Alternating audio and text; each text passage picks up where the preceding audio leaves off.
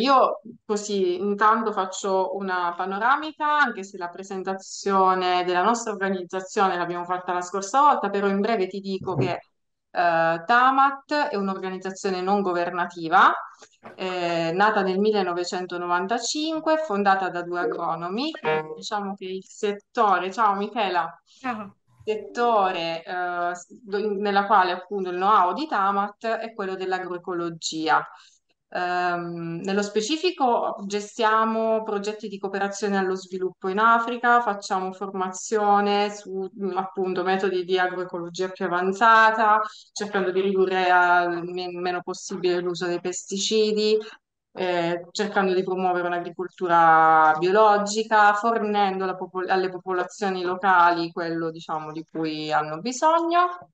E in più abbiamo una parte dove noi lavoriamo in Italia eh, sulla migrazione, l'economia circolare, gruppi d'acquisto solidali. Perché i gruppi d'acquisto solidali? Eh, nel 2016 Tamat parte- partecipa a un progetto Erasmus e da, diciamo, da quel progetto Erasmus nasce eh, l'idea, diciamo, di, insieme alla- all'associazione Fiorivano le Viole di, di Perugia, del centro storico, nasce l'idea di appunto aprire un gruppo d'acquisto solidale, cercare appunto di acquistare prodotti mh, della terra vicina e eh, dare, diciamo così, spazio anche ai produttori locali. Eh, molti produttori locali sono cresciuti grazie al gruppo d'acquisto solidale nato, diciamo, da Tamat con un'associazione satellite che si chiama Fuori di Zucca ehm, e questo ha dato la possibilità a molti produttori anche di legalizzarsi e di strutturarsi. Ora so che abbiamo tutti quanti un po' i minuti contati e siccome a contattarti è stata Sara, lascio la parola a Sara, Sara per la tua presentazione. Allora, grazie mille a tutti.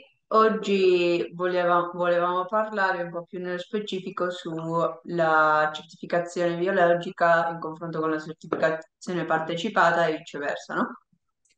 E per questo abbiamo il piacere oggi di, eh, di contattare con Antonio Lofiego, che è membro dell'AIAB dell'Emilia Romagna, oltre a essere il responsabile tecnico della- dell'azienda Arcoiris che si occupa su- sui sementi biologici e ci parlerà appunto in generale su questa certificazione bi- biologica e più nello specifico sull'importanza dei cementi biologici nella, eh, nella scelta dei produttori per parte della- dei gas. Quindi lascio, lascio la parola a Antonio Lofiego, grazie mille per eh, voler intervenire oggi. Antonio, dimmi tu se hai bisogno di condividere, hai già la No, no, no, io vado a braccio, va bene? Eh, perfetto, Non, ho- non- non avevo detto- non mi hanno detto che dovevo preparare qualcosa, no vai, siamo eh. tutti liberi. Ognuno fa come si Intanto sente magari mi, mi presento. Mm. Allora, io eh, sono Antonio Lofiego, sono un agronomo eh, che eh, lavora nel biologico, che nel biologico che direi da, da quasi 30 anni, oltre 30 anni. Eh, ho anche, ho anche lavorato all'estero col GVC, che è una ONG in Brasile e Argentina, sei anni all'estero, sempre su progetti in Argentina, soprattutto progetti di eh, sostenibilità locale con i produttori che abbiamo fatto partire delle filiere locali, de- di, di- sementi locali, eccetera. Attualmente sono presidente di AIAB Emilia Romagna e eh, sono, sono consigliere anche del mio distretto biologico, Valle del Panaro, che è nella provincia di Modena. Quindi, mh, per affrontare il tema della certificazione, noi abbiamo, mh, pe- allora, la innanzitutto bisogna dire una cosa molto importante. Cos'è la certificazione biologica? La certificazione biologica è una certificazione di processo, quindi non è una certificazione di qualità, il che vuol dire che noi certifichiamo un processo. In questo processo io dico che ci sono degli organismi di, degli organismi di controllo che certificano che io utilizzo determinate tecniche o che non utilizza determinati prodotti. Quindi mi certificano che io ho quel prodotto che ho, ho fatto è stato realizzato con i criteri che sono propri della certificazione biologica. Lo tengo a precisare perché quando dico certificazione di processo e non di qualità, intendo dire che la qualità di un prodotto non, non deriva necessariamente da, dall'essere biologico. Non voglio parlare in contraddizione, però per far capire che se un prodotto di qualità pessimo può essere sia biologico che convenzionale. Quindi la qualità la si valuta su altri termini, che poi andremo a vedere quali sono. Pertanto abbiamo una, una certificazione di processo, mi dice che io ho fatto a regola d'arte la produzione biologica. Chiaramente, al di là della a, a parità di qualità, sì, bisogna sempre preferire i, i prodotti biologici perché ovviamente il biologico rispetta di più l'ambiente, molto di più l'ambiente, eh, la biodiversità, tutta una serie di, di, di, azioni che devono essere fatte nelle aziende agricole rispetto al convenzionale. Ora, cosa possiamo dire? In Italia la certificazione biologica viene effettuata da organismi di controllo privati. Questi organismi di controllo privati sono 19 in Italia, sono, 19, sono 19. So, quindi c'è un rapporto diretto fra il controllato, cioè quindi l'azienda agricola, il trasformatore, il grossista biologico, eccetera, eccetera, e il controllore. A, loro volta poi questi organismi di controllo vengono controllati da Accredia, che è un organismo statale che controlla il lavoro fatto da, dalle, dagli organismi di controllo.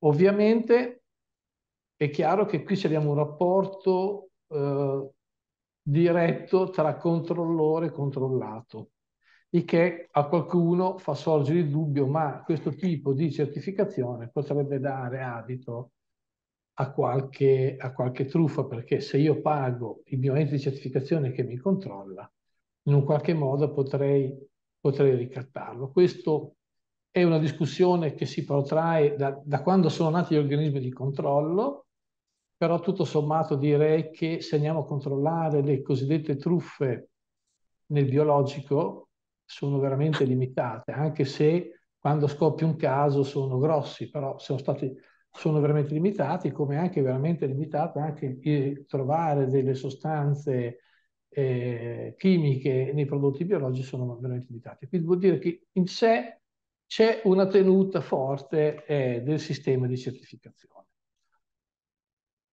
Questo però, questa discussione che viene portata avanti, perché ha una sua validità, quella di dire ma c'è un rapporto diretto fra chi è controllato e il controllore, che non dovrebbe essere così, non ci dovrebbe essere... Si sta, mh, mm, si sta, mh, si stanno facendo delle discussioni, molto, si sta arrivando anche a una nuova mh, definizione di organismi di controllo e quindi di una nuova definizione di, di come si controlla il biologico.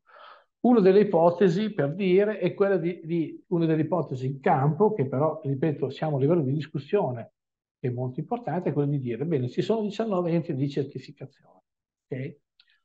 La legge dice che se io, se un ente di certificazione mi espelle dal, dal circuito del biologico, io non posso andare, non posso essere certificato da un altro ente biologico, altrimenti uno salta come un anguro da un organismo di controllo a un altro facendo, non facendo agricoltura. Quindi se uno viene espulso da un regime di controllo, punto, viene espulso e gli altri non lo possono controllare, non lo possono certificare. Premesso questo, l'idea che sta venendo avanti, una discussione, ripeto, è quella di dire, bene, per evitare che ci siano queste discussioni, si, si, si, penserebbe di fare un tariffario uguale per tutti gli organismi di controllo. Ovviamente 19 organismi di controllo vuol dire 19 tariffe diverse, 19 controlli, metodiche di controllo diverse, eccetera, eccetera. Quindi l'idea è questa, per far sì che ci sia un'oggettività maggiore nel controllo del biologico, dire, bene, se noi riuscissimo a fare un tariffario uguale per tutte le 19, per tutti gli 19 organismi di controllo, quindi non sarà facile.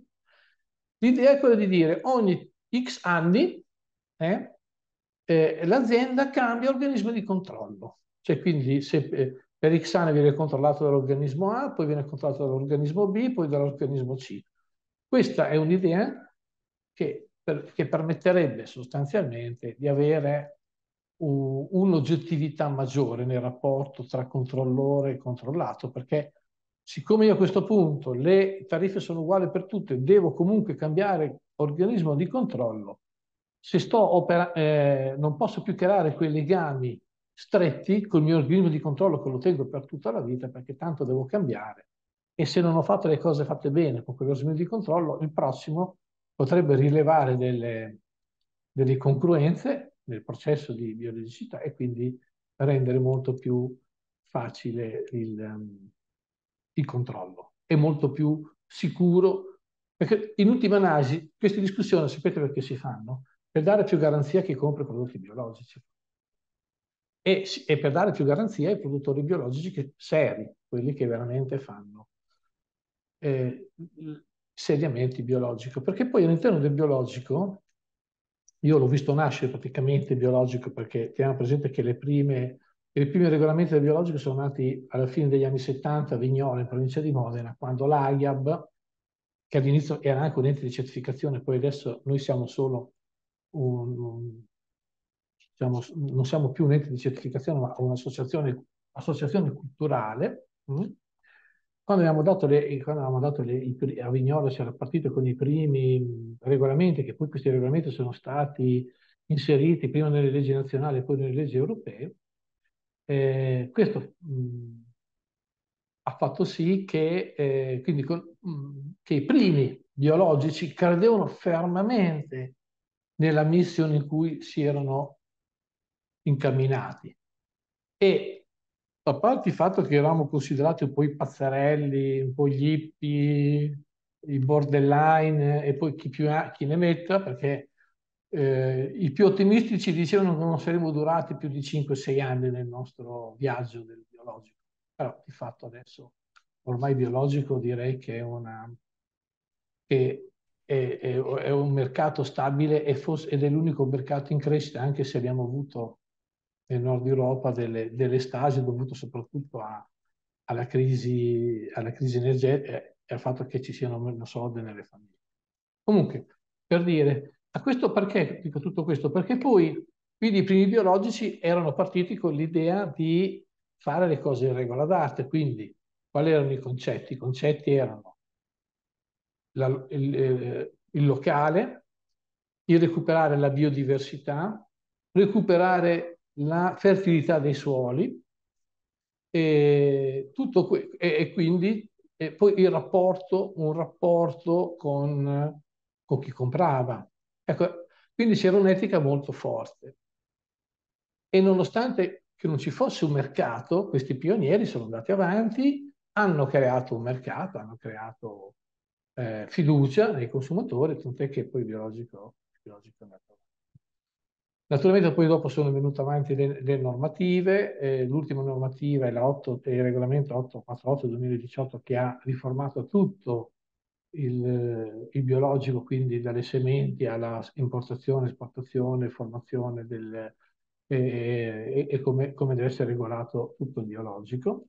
Quindi eh, si, quando il, il biologico è cresciuto, quando il biologico è cresciuto molto forte, si sono inseriti in questo business anche produttori molto convenzionali che hanno fatto una scelta verso il biologico, non tanto perché fossero spinti da una forte eh, ideologia come era stata all'inizio, quindi di veramente lavorare a favore dell'ambiente, mm? ma perché i prezzi sul mercato che spuntavano erano superiori a quelli del convenzionale. Pertanto Ultimamente si sono immesse anche una massa enorme di produttori che sono entrati nel sistema del biologico eh, mantenendo in un certo qual modo la mentalità ancora del convenzionale. Però lo dico, lo dico perché quindi, mh, mm, perché dopo quando parleremo dei gas è molto importante questa distinzione secondo me da, da, da tenere. Tutto sommato è un bene, perché poi noi quando siamo nati nel, come biologici, la nostra idea era quella che diventasse tutto biologico, il fine della fiera. Perché poi la, il concetto era quello di, di, di salvaguardare l'ambiente, migliorare la fertilità dei terreni, la biodiversità, eccetera, eccetera.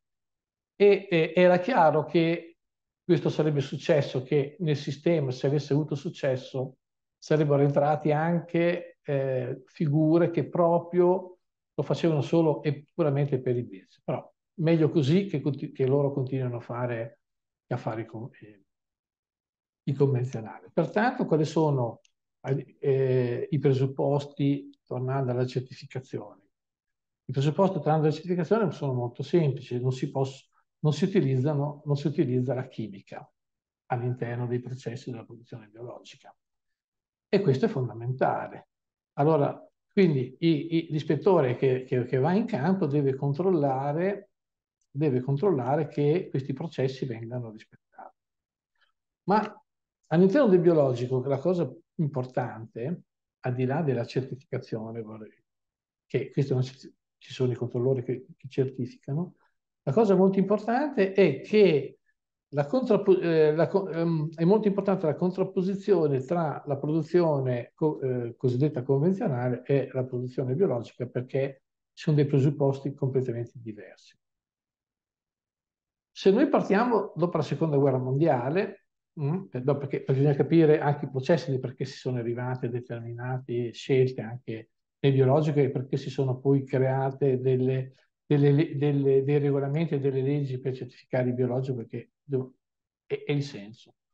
Quando eh, l'Europa esce dalla seconda guerra mondiale con oltre 50 milioni di morti, le città distrutte, eccetera, eccetera, causa il fascismo e il nazismo, eh, l'Europa moriva di fame letteralmente, cioè non c'era da mangiare, per cui il, il, il, il, la cosa più importante all'epoca era dar da mangiare a una popolazione stremata dalla guerra e dalla fame. Per cui nasce la rivoluzione verde. La rivoluzione verde non fa altro che introdu quindi introduce tutta una serie di miglioramenti te eh, tecnologici sia sulle sementi sia sui fertilizzanti. Tra l'altro i fertilizzanti nascono tra l'altro dalle bombe inesplose nella seconda guerra mondiale, li hanno, li hanno riutilizzati per fare i fertilizzanti buona parte, per fare i fertilizzanti nel, nella convenzionale. Tutto questo porta che effettivamente tutti questi miglioramenti tecnologici eh, avviati dalla rivoluzione verde hanno un successo enorme perché riescono a sfamare la popolazione europea. Anzi, non solo sfamano la popolazione europea, ma negli anni 70 si arriva a un surplus di produzione, tanto che questo surplus di produzione viene comprato da, da Agea, che, che, è una, un ente statale, che comprava la, la, la, sovrapproduzione per poi sotterrarla. Quindi una cosa eticamente sbagliatissima con, con le persone che morivano di fame. Però cosa ha comportato? Successo, la gente non è morta di fame, cioè, è successo che sono venute avanti tutta una serie di problematiche che sono monocultura esasperante, riduzione della biodiversità, riduzione della fertilità dei suoli, salinità del, eh, eh, desertificazione dei terreni perché è aumentata la salinità, quindi diciamo dal punto di vista ambientale abbiamo pagato a caro prezzo questa rivoluzione verde. Ed è lì che nasce appunto alla fine degli anni 70-80 il concetto di, di, di biologico di cui vengono date le prime norme che sono esattamente in contrapposizione a quella della di quello che era stata la rivoluzione verde, pur riconoscendo la rivoluzione verde che all'inizio ha dato, ha dato questi risultati, ma gli effetti collaterali, come possiamo vedere anche dei cambiamenti climatici, tenete presente che l'agricoltura, soprattutto con gli allevamenti industriali, è in buona parte eh, è responsabile dei cambiamenti climatici. Per cui vengono dati tutti questi, tutti questi eh, si danno questi regolamenti molto restrittivi, effettivamente molto restrittivi, perché si voleva dare un segno tangibile di cambiamento, di cambiamento di paradigma rispetto a quello che era stata la, la, la rivoluzione. E, e, e, dico, lo voglio sottolineare perché perché nascono queste, eh, perché nasce l'agricoltura biologica. Contestatissima a livello di università, contestatissima a livello di, di, di tutti dei ministeri, contestatissima da tutte le parti, però è nata avanti, tant'è che oggi l'agricoltura biologica viene considerata come un faro, perché in Europa l'Europa ha varato il Green Deal e anche il Farm to Fork, cioè l'Europa, non so se qualcuno ve l'ha già raccontata questa questione, comunque il Green Deal, to Fork dice che delle cose fondamentali, importantissime, che andare al 2030 dobbiamo avere il 25% della produzione biologica a livello europeo. L'Italia è posizionata abbastanza bene perché è oltre il 15-16% a livello nazionale. Altri paesi sono un pochino più indietro, però per far capire che un quarto di tutto il territorio europeo deve essere prodotto biologico, quindi è importante. Ed è per questo che è venuto fuori anche il nuovo regolamento, il regolamento 848-2018, che regolamenta la produzione biologica. L'altra cosa che è molto importante che dice l'Europa è che sempre entro quella data dobbiamo ridurre oltre del 50% l'uso dei pesticidi. E questo è un'altra cosa. E altra cosa che ha introdotto sempre questo Green Deal e Farm for è la rotazione. Nella, nella eh, mm, agricoltura convenzionale la rotazione non è obbligatoria, anche se lo sarebbe dal punto, anche se dal punto di vista agronomico sarebbe da fare, mh, mm, eh, no, nessuno obbliga il produttore a fare la rotazione. Per cui voi vedete, soprattutto nella pianura padana, grano, grano, mais, mais, grano, mais, mais, grano, mais, eh, medica. Vedete sempre questi grandi campi monoculturali dove è stata abbattuta la biodiversità in maniera verticale e adesso l'Europa dice che bisogna, se uno vuole accedere ai contributi, cominciare a pensare a alle rotazioni. L'altra cosa che ha detto molto importante l'Europa, sempre questo progetto del Green Deal, è la salvaguardia degli impollinatori, cioè delle api, perché noi, come sapete, stiamo assistendo alla distruzione delle api. Ecco, quindi, questo per dirvi che anche all'interno del biologico, dove sono, a differenza del, a differenza del, del convenzionale, dove sono obbligatorie fare delle, delle siepi oppure, de, oppure, tutta una serie di, di oppure anche queste eh, lavorazioni particolari e anche per la salvaguardia degli insetti utili. Ecco, questo per dirvi è tutte queste cose che vengono poi controllate dai controllori nella, nella certificazione biologica. Ecco, se avete delle domande nel frattempo, non lo so, se qualcuno vuole fare delle domande. Va bene. Non lo so. Qualcuno ha qualche domanda? Se no... Io intervengo un secondo, Michela, perché eh, c'è stato fatto riferimento nel primo modulo del corso a questo, eh, con una serie di note, dico polemiche, non perché il tono fosse polemico, ma anche tra le informazioni che ho io mi risulta che poi queste siano delle belle parole, poi nella pratica finanziamenti, politiche, eccetera, vanno in direzione opposta. No, non vanno in direzione opposta. Eh, diciamo così che eh, la Commissione europea ha dato, parla del Green Deal? O, qual, o... Dico in generale, cioè mi riferisco alle PAC, non so, alle... No, no. Allora, se noi andiamo a vedere le PAC, delle. Se noi andiamo a vedere le PAC, c'è la grande discussione che la PAC ancora, la maggior parte della PAC, che sarebbero gli aiuti gli aiuti comunitari agli agricoltori, tenendo presente che tutta l'Europa vive di contributi all'agricoltura, vive molto di contributi. Questo è un problema serio.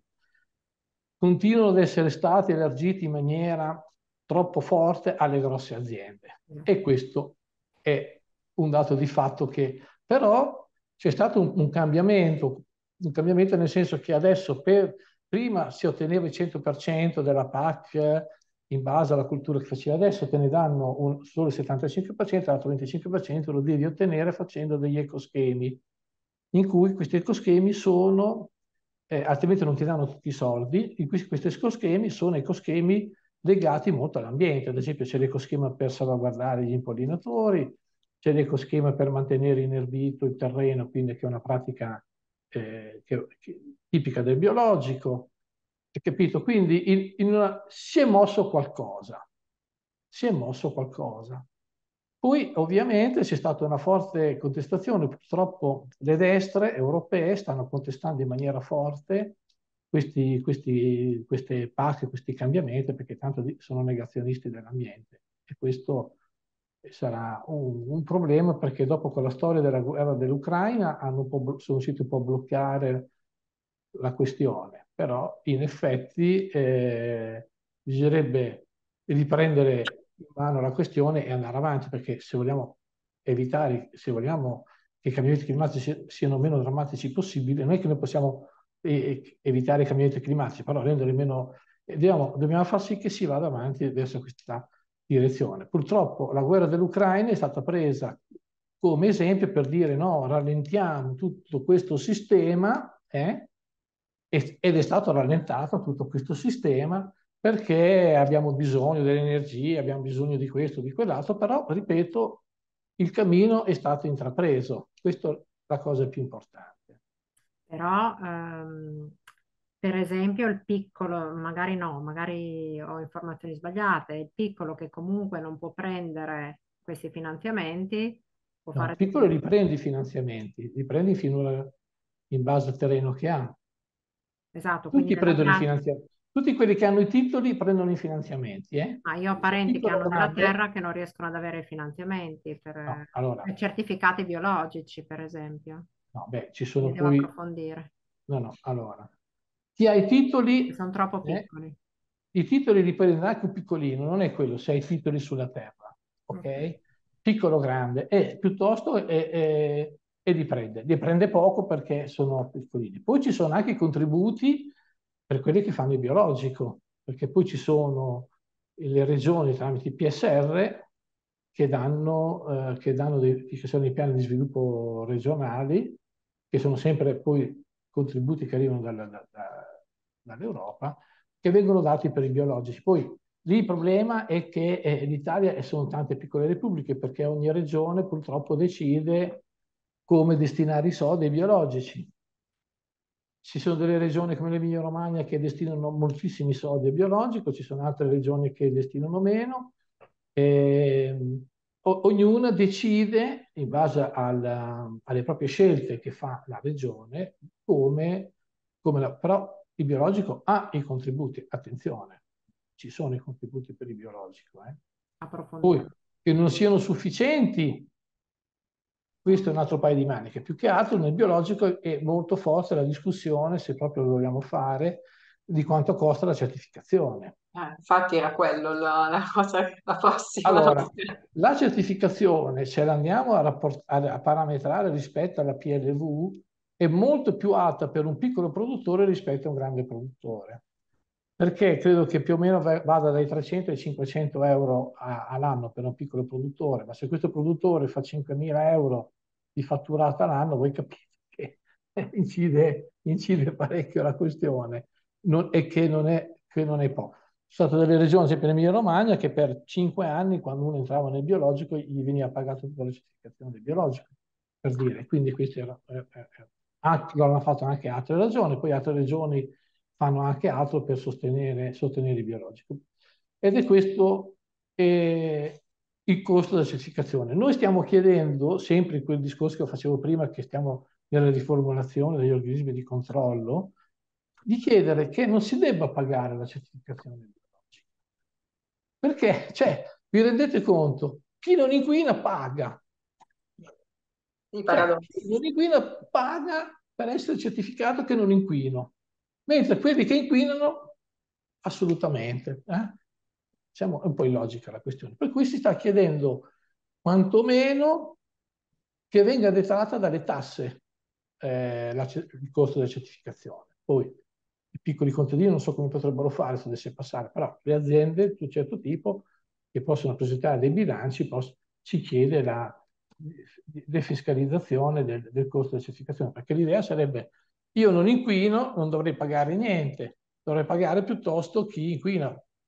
Eh, ecco, è anche vero che però in Italia c'è una piccola tassa sul, sui, fitos, su, sui fitosanitari che serve poi questa piccola tassa che viene applicata, una piccola percentuale, che viene poi per sostenere il mondo del biologico attraverso tutta una serie di, di bandi che il Ministero mette, mette, a disposizione. Quindi qualcosa viene fatto, ecco. Non so se ho risposto alla tua domanda. Non, non tantissimo, comunque i piccoli produttori sono quelli che devo, che, su cui stiamo ragionando.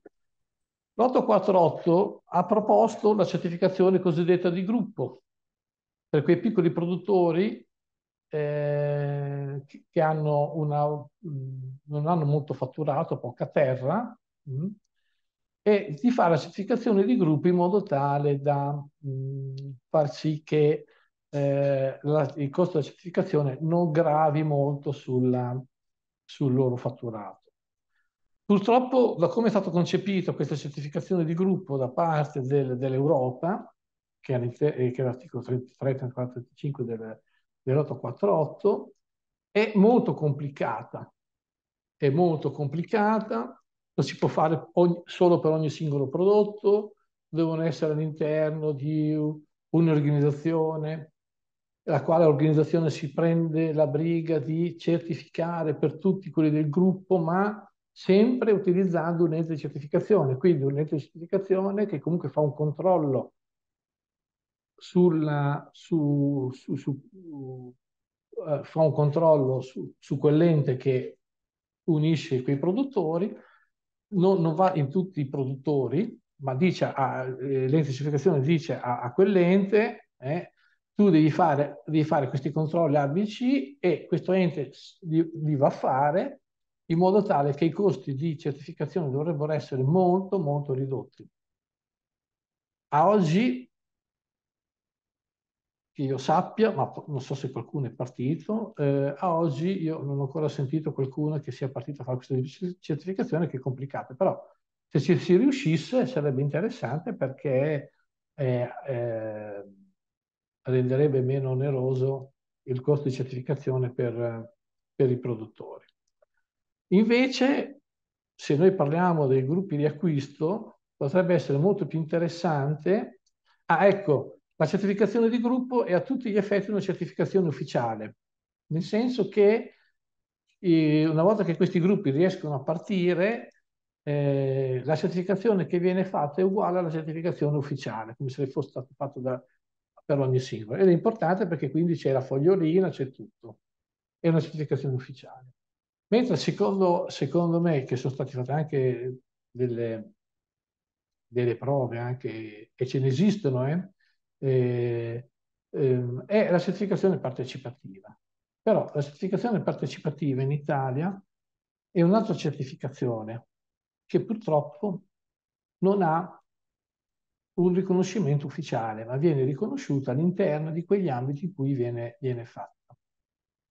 Ad esempio, eh, faccio degli esempi pratici, Campi Aperti, che è un'associazione di Bologna, ha una certificazione partecipativa, tra l'altro fatta in maniera molto seria, ehm, che garantisce che ai consumatori, ai coproduttori, come vengono chiamati all'interno del, che i produttori che vendono quella merce, che anche se non sono certificati biologici in maniera ufficiale, vengono controllate dagli stessi produttori con tutto un sistema loro di, di, di garanzia e da, chi compra, chi va ai loro mercati o chi va nelle loro aziende sa che, quindi c'è questo atto fiduciario, sa che sta comprando dei prodotti veramente controllati. Poi, che non siano certificati biologici, è una scelta del consumatore che fidandosi dice io compro, sono sicuro di comprare. Un altro esempio di certificazione partecipativa è il DES di Parma, che fa dei propri mercati e fa una certificazione, distretto di economia solidale di Parma, so che sta facendo. Poi sicuramente ce ne saranno in giro anche, anche altre. Purtroppo queste forme non sono considerate ufficiali, però sono effettivamente molto interessanti. Il, il, il limite è che queste forme rimangono circoscritte all'interno dei gruppi che vengono che vengono, che le fanno, perché se questo produttore dovesse andare in un mercato del biologico oppure in un negozio del biologico, non può vendere la sua merce come biologico. E anche questa è una discussione aperta. Comunque già il fatto che l'848 abbia normato la certificazione di gruppo, speriamo di lavorare nel tempo e di arrivare a un riconoscimento ufficiale anche della certificazione partecipativa, che permetterebbe veramente un salto di qualità, soprattutto per, per, per i piccoli produttori. Antonio, ecco.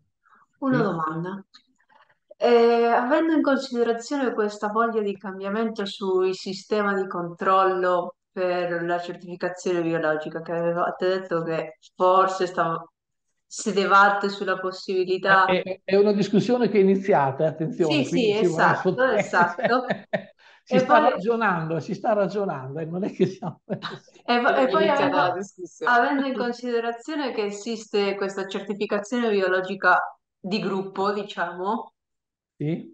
eh, se si realizza questo cambiamento, non sarebbe opportuno mettere tra gli enti che certificano il processo biologico anche a qualche rappresentante dei consumatori? Così allora, da fare una via che tu stai mezzo... dicendo è la certificazione partecipativa. Sì, tra, fare, invece questa certificazione di gruppo tra la tra la biologica segue, e la partecipativa. No, la certificazione di gruppo segue la logica della certificazione ufficiale, solo che dice che invece di andare a casa di ogni produttore, il, il tecnico di un organismo di controllo va a, da, da, questo, e, e, da questa cooperativa, mettiamola così, una cooperativa, consorzio, che raggruppa X produttori piccoli, ma devono essere piccoli, eh? cioè sì, sì, avere sì, poca terra e poco fatturato, il quale dice io, io vengo dalla tua cooperativa, vado a vedere i libri che tu vengo a controllare, cosa hai fatto tu con i tuoi produttori per essere sicuro che tu abbia fatto. E quindi i miei costi si abbassano notevolmente. Ma ripeto, il concetto è sempre così, viene solo cambiato. Nella certificazione partecipativa sì, è diverso. Sì. La certificazione partecipativa nasce in Brasile, nasce eh, con l'Ecovida, nasce praticamente a Porto Alegre sostanzialmente. Prime, la prima certificazione partecipativa è di Ecovida, la quale si pone il problema di, eh, di certificare i produttori, i, i, piccoli produttori locali brasiliani eh, e fa la certificazione partecipativa in cui ci sono all'interno del gruppo che va a controllare i produttori, ci sono consumatori, rappresentanti di consumatori, sì. rappresentanti di di, di, agricoltori e tecnici, che è un po' quello che fa anche, credo, Campi Aperti sostanzialmente, uh-huh. che abbia impostato una cosa. Dopo ci sarà Carlo. E, e poi e la, rete, la rete Covid ha avuto un successo enorme, tant'è che tutto il Sud America a cui si è sviluppato è questo sistema e noi abbiamo copiato dai brasiliani questo sistema di certificazione eh, partecipativa perché è stato veramente interessante ed evoluzionario e ha permesso ai piccoli produttori eh, di, eh, di, affrancarsi dalle multinazionali. Tenete presente che a differenza che in Europa le multinazionali nel Sud America schiacciano veramente l'agricoltore, soprattutto i piccoli produttori, i quali le multinazionali, soprattutto nel Sud America, decidono quanto costano i mezzi tecnici e le sementi e decidono quanto costa il prodotto. Praticamente il produttore non ha libertà assoluta su niente se non su quello che produrrà. Ed è una situazione veramente molto, molto drammatiche per i piccoli produttori. Sì. Con la rete Covid si sono riusciti veramente ad affrancare tutti questi sistemi qui e a permettere di, di, di, di crescere. C'è una mano alzata, vedi? Eh sì, Gianluca. Adesso paleso. Eh, io volevo due commenti su due, perché rispondere credo che sia un po' difficile, ma un'infrastruttura sui prodotti che arrivano soprattutto dal Nord America e dicono che sono bio e come sappiamo noi hanno delle caratteristiche diverse. Io sto pens- pensando al Manitoba, alla farina Manitoba. Manitoba. E qualcosa sul, sul, miele biologico, perché anche lì eh, io allora, ho i dubbi. Hai toccato due tastini differenti. io sono qui per quello. No, ti ringrazio per la domanda. Allora, eh, allora, i sistemi di certificazione sono differenti. L'Europa ha un sistema di certificazione, gli Stati Uniti ha un sistema di certificazione, e, e, e, eccetera, eccetera. E anche la Svizzera ha un suo sistema di certificazione differente, perché la Svizzera vi ricordo che non fa parte dell'Europa. Cosa è stato fatto? È stato fatto tutta una serie di accordi bilaterali per far sì che ogni sistema riconosca l'altro, ok? Così quando si importano i prodotti o si esportano i prodotti, perché noi ricordatevi che noi italiani siamo i maggiori esportatori di prodotti biologici nel, nel mondo, eh, soprattutto in Europa, eh, ci deve essere un bilateralismo tra le due sistemi di certificazione, d'accordo? Quindi eh, quando, noi quando, noi esportiamo, eh, gli americani ac hanno accettato la nostra certificazione, però se tu esporti in America devi fare tutta un'altra serie di, eh, di, certificazioni che richiede gli americani. Lo stesso anche se esporti in, in, in Svizzera che ti chiedono altri tipi di certificazioni. E allora, e, e, e quando noi importiamo vale il discorso, però lì vedi il discorso della Manitoba e, e loro possiamo parlare anche del Camut a questo punto, eh? Manitoba e Camut. Perché... Allora, il Camut viene tutto prodotto tra il Canada e il nord della, de, degli Stati Uniti. Mm? Quindi tutta la pasta di Camut, tutta quella roba lì, è tutta roba che viene dall'oltreoceano. Non si produce neanche un chicco di, non si produce neanche un chicco di, di Camut in Italia, d'accordo? E lo stesso è la Manitoba. La Manitoba viene utilizzata per fare, perché è una farina di forza, serve per, um, per, per dare forza a, a, a, alle farine, quindi per fare, soprattutto nella lavorazione industriale. E, e vengono, ci sono questi, ci sono questi, ci sono questi controlli. Il problema, magari lo affrontiamo dopo, è consumare locale, secondo me è il problema. Questo è, è, è il punto, perché ad esempio per dire il Camuto non lo uso perché mi rifiuto di comprare una pasta che venga prodotta in Canada del Nord Europa quando noi abbiamo i Corazan, i Turanici, che sono identici praticamente al Camut e, e, vengono prodotti in Italia. Questo dipende poi anche dalla sensibilità di, di chi consuma i prodotti, questo è molto importante. Sul miele biologico sul miele biologico ci sono dei, dei, dei problemi eh, reali perché a produrre del seme... Tu sei un apicoltore?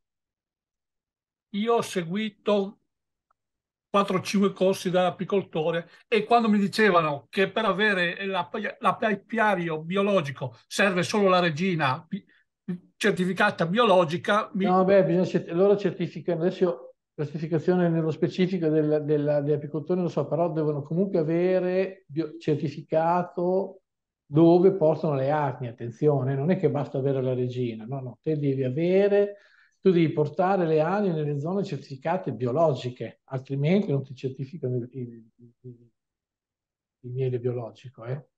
Non è che io dico solo le regine, no, no, tu devi, devi sottostare. Ma devono aver, aver, comprato una regina biologica. Sì, però devi dare poi a produrre, devi portare le ali nelle aziende biologiche, non le puoi portare le ali nelle aziende convenzionali, altrimenti non ti possono certificare il miele.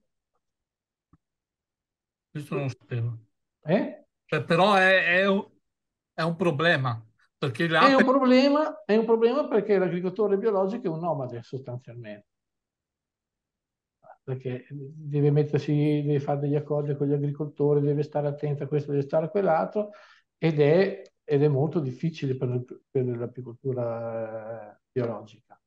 Il problema adesso non è tanto su, a parte che stanno producendo poco, poveretti, con queste piogge. L'anno scorso hanno prodotto poco perché c'era la siccità, quest'anno sta producendo poco perché le fioriture non arrivano perché con queste piogge, e, e cioè, quindi sono...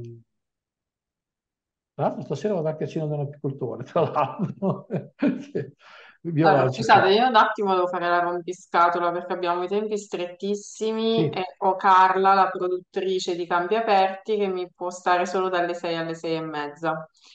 Va bene, quindi Fabrizio, tu Carla mi ce Petri la vi, pa- fai? vi- vi parlerà allora della, della loro esperienza, che è una bella Sì. esperienza, molto, molto, molto. Allora, se Fabrizio ce la fa in 10 minuti e poi lasciamo magari tutte le domande alla fine. Se no, dopo l'intervento di lei.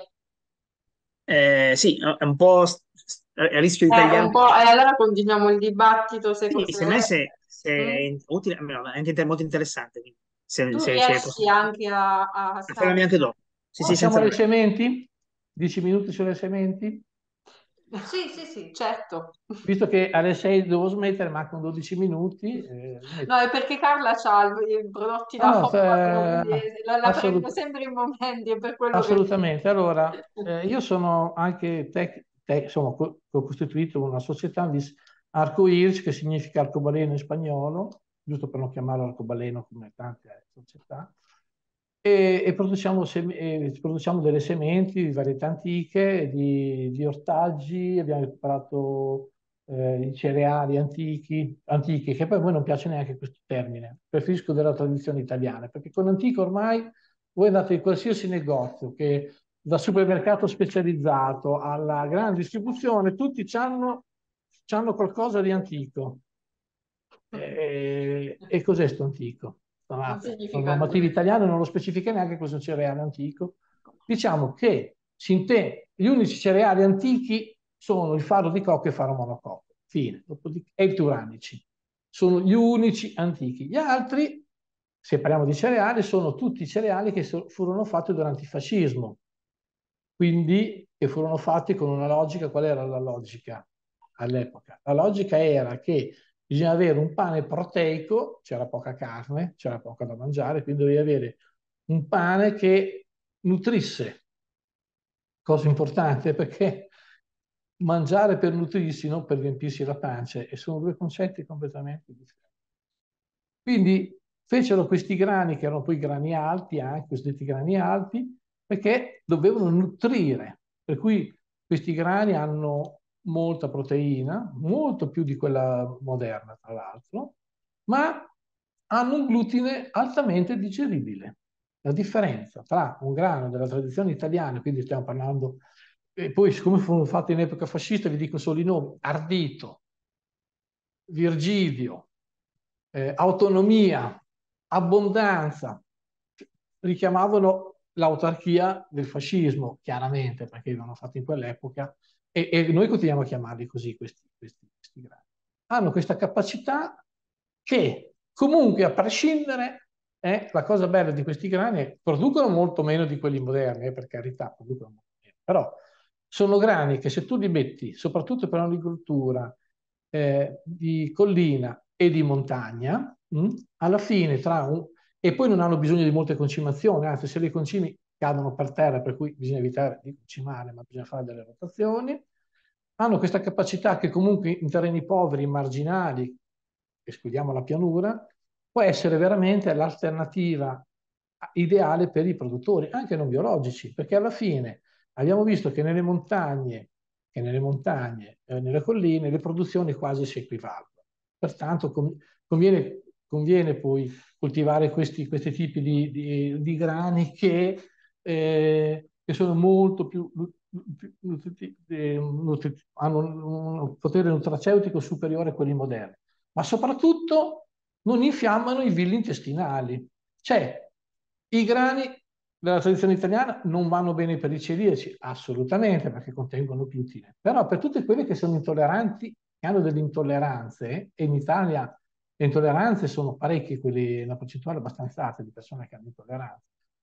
Guardate con tutti quelli che vanno a mangiare una pizza non lievitata, che di notte gli cavalcano il rinoceronte, e, e, invece poter mangiare qualcosa che si digerisce bene, che non ti infiamma l'intestino, è importante. E questo e questo è una cosa eh, su cui si, si lavora, si sta, si sta espandendo ed è, ed è, interessante. L'altra frontiera invece che vorrei raccontarvi sono le popolazioni di frumento. Non so se sapete cosa sono le popolazioni di frumento. Le popolazioni, di, le popolazioni sono, un, sono dei, una serie di mescolamenti iniziali di grani di varie varietà introdotto, hanno introdotto i concetti di popolazione, furono il concetto di popolazione fu già introdotto negli Stati Uniti già negli anni 50, poi furono abbandonati. Poi il professor Ceccarelli e sua moglie Stefania Grando, che hanno lavorato in Siria, hanno portato dalla Siria, dall'istituto di Casda, queste popolazioni di orzo e di frumento, il, quale il concetto di questa popolazione di orzo e di frumento, che poi sono stati, poi in Italia sono stati, si sono sviluppati parecchie, si stanno hanno questo concetto che sono stati fatti degli incroci interspecifici che, eh, all'interno di questi grani, quindi si sono partite, non so, eh, la popolazione di, di, di frumento, furat, eh, aveva più di mille varietà differenti in mezzo, poi abbiamo delle varietà solo fatte con i grani tradizionali. Comunque, in sostanza, questi, questi frumenti sono molto interessanti, mh, mm, sia per il consumatore che sia per uh, l'agricoltore, perché è, è, la risposta eh, biologica ai cambiamenti climatici. Come biologici voi sapete che noi siamo contro gli OGM, purtroppo questo governo ha sdoganato i nuovi OGM, mettendoli dentro al decreto siccità, quindi con una mossa veramente ardita, perché è in contrapposizione con le regole eh, comunitarie che comunque noi OGM ancora vengono considerate OGM a tutti gli effetti, quindi una, le hanno fatto passare, quindi hanno sdoganato gli OGM. Noi come biologici siamo nettamente contrari, eh, nettamente contrari agli OGM e è la risposta ai cambiamenti climatici, perché sia all'interno della popolazione ho tanti genotipi diversi, cioè tanti geni diversi, che se sono in un ambiente siccitoso eh, comunque mi produce perché i geni che sono predisposti per la siccità producono. Se sono in un ambiente molto umido, i geni comunque che sono predisposti per produrre in ambiente umido producono. Poi queste popolazioni si adattano agli ambienti in cui vengono coltivati, per cui una volta che il produttore, il contadino, le, gli semina, li continua a riseminare, nella propria azienda per tutta una serie di, eh, di, di anni, crea un rapporto simbiotico tra il, il, questa popolazione e l'ambiente in cui li sta coltivando. Ed è una risposta molto forte ai cambiamenti climatici. Abbiamo visto che queste popolazioni addirittura producono molto bene con delle produzioni costanti nel tempo. E io qua la chiudo perché credo che abbiamo già, eh, siamo arrivati allora, Sara in realtà ha due domande. Allora, io avevo entrambe sui frumenti. Se questi frumenti che si adattano al, al- all'ambiente, hai Le detto, e quindi, popolazioni? e quindi ci aiutano a, a combattere il cambiamento climatico, il climatico, adattarsi noi a questo. Allora, non aiutano a combattere i, i cambiamenti climatici perché bisognerebbe fare tutta una serie di azioni di emissioni zero nell'atmosfera, Sì, eccetera, sì. eccetera. Diciamo che si adattano ai cambiamenti climatici, è la risposta biologica ai cambiamenti climatici. Quindi, siccome ci sono tanti geni dentro, c'è una genetica ampia all'interno di questa popolazione, eh, comunque qualsiasi parte io risemino, quelli che si adattano a quel determinato ambiente, con quel determinato cambiamento climatico, producono e, si, e sono adatti per quell'ambiente. Ma negli anni ovviamente, eh, perché Più ricordiamoci che meno in l'agricoltura è una cosa molto lenta, molto lenta. Sarebbe tipo in 15-20 anni l'adattamento. No, meno, 5-6 anni già si adattano Ok. bene. Poi magari sentite perché so che Campi Aperti usano delle popolazioni, tra l'altro anche una popolazione di zucchine, credo, che stiano facendo. E poi Eh, questi, queste popolazioni di frumenti sono ibride o po- si no, no, possono no, ripiantare sono... e Allora, quando si parla di ibrido, bisogna stare attento. Noi bisogna tenere presente la differenza tra ibrido commerciale e ibrido naturale. Tutto ciò, quando si incrociano naturalmente due varietà, sono ibride. mm?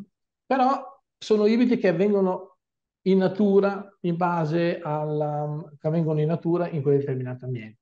Gli ibridi commerciali sono le aziende sementiere che prendono due linee pure, le incrociano, fanno un ibrido commerciale eh, che sfruttano, che si chiama eterosi, um, eterosi e questi, questo, se queste, queste, due linee da sole produce, producono meno di quella, di, quella che, di quella che viene ibridata.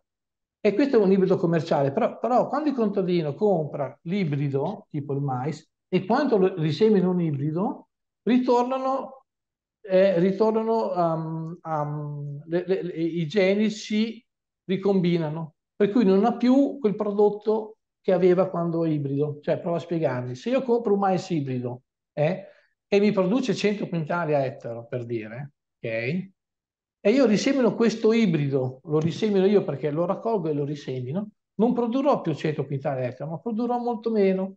Per cui questi tipi di ibridi commerciali eh, è un ibrido fatto apposta per legare il contadino all'acquisto della semente ogni anno, sostanzialmente è questo il concetto.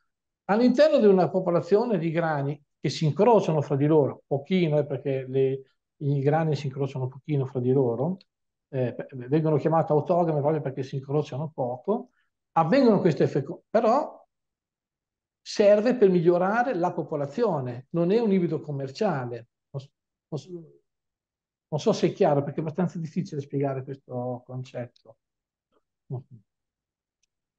Sì, sì, sì, sì. Quindi si potrebbe, questi ibridi naturali si possono riseminare e... Certo, assolutamente perché stanno migliorando la produzione, perché si stanno adattando a quell'ambiente, capito? Mm-hmm.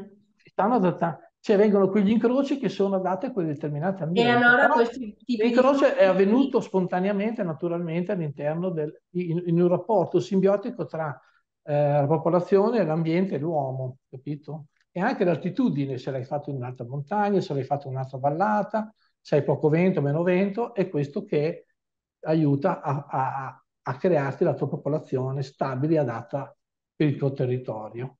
Diciamo che allora questi frumenti aiutano anche a lungo termine a- ai agricoltori.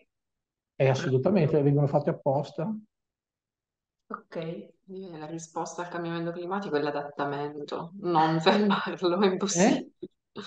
La vera risposta poi al, cambiamento era la riflessione, no? Perché mi ha colpito il fatto quando tu hai detto non è che contrastiamo il cambiamento climatico in questo modo, ma ci adattiamo al cambiamento Ah climatico. beh, eh, Anche cioè, cioè, avere la ragazzi, presunzione appunto di... Noi non abbiamo la presunzione di, però, no, aspetta, però con l'agricoltura biologica stai bloccando quantomeno il cambiamento climatico nella maniera così violenta come lo stiamo vivendo. Io stavo leggendo sul giornale oggi che non so quante centinaia di eventi ehm, catastrofici sono, ci sono avvenuti in un anno in Italia. Cioè, vi rendete conto? Quindi, Allora, Michela voleva chiedere qualcosa? Prego. Sì, se faccio a tempo. Era anche il senatore Cappelli. Io non so la storia, ma penso che abbia una storia. Volevo vedere se allora, il senatore. Cappelli Eh. è anche questa una vecchia varietà fatta sempre nell'epoca, in quell'epoca fascista. Tra l'altro si chiamava Cappelli, anzi la varietà si chiama Cappelli, che fu fatta in onore del sena- di, Cappelli che era un senatore. Poi volgarmente, poi volgarmente eh, tutti la chiamano senatore Cappelli e ha vinto il nome volgare rispetto al nome della varietà, che sarebbe Cappelli. E la Metropolis, che io l'ho sentita Non buonissima, la una varietà- conosco, hanno detto che è come la Manitoba praticamente. no, non la conosco. posto. E comunque il senatore Cappelli fa un'ottima, si, si ricava un'ottima pasta. Qual qual è il problema del senatore Cappelli? Che eh, mentre questi, le popolazioni non hanno le royalty, le, le varietà della tradizione italiana non hanno le royalty, eh, il senatore Cappelli a un certo punto alla SIS, eh, società eh, insieme alla Coldiretti, deciso di fare una filiera del senatore Cappelli che per alcuni anni vendevano questo seme solo ed esclusivamente a determinati produttori che facevano parte della filiera.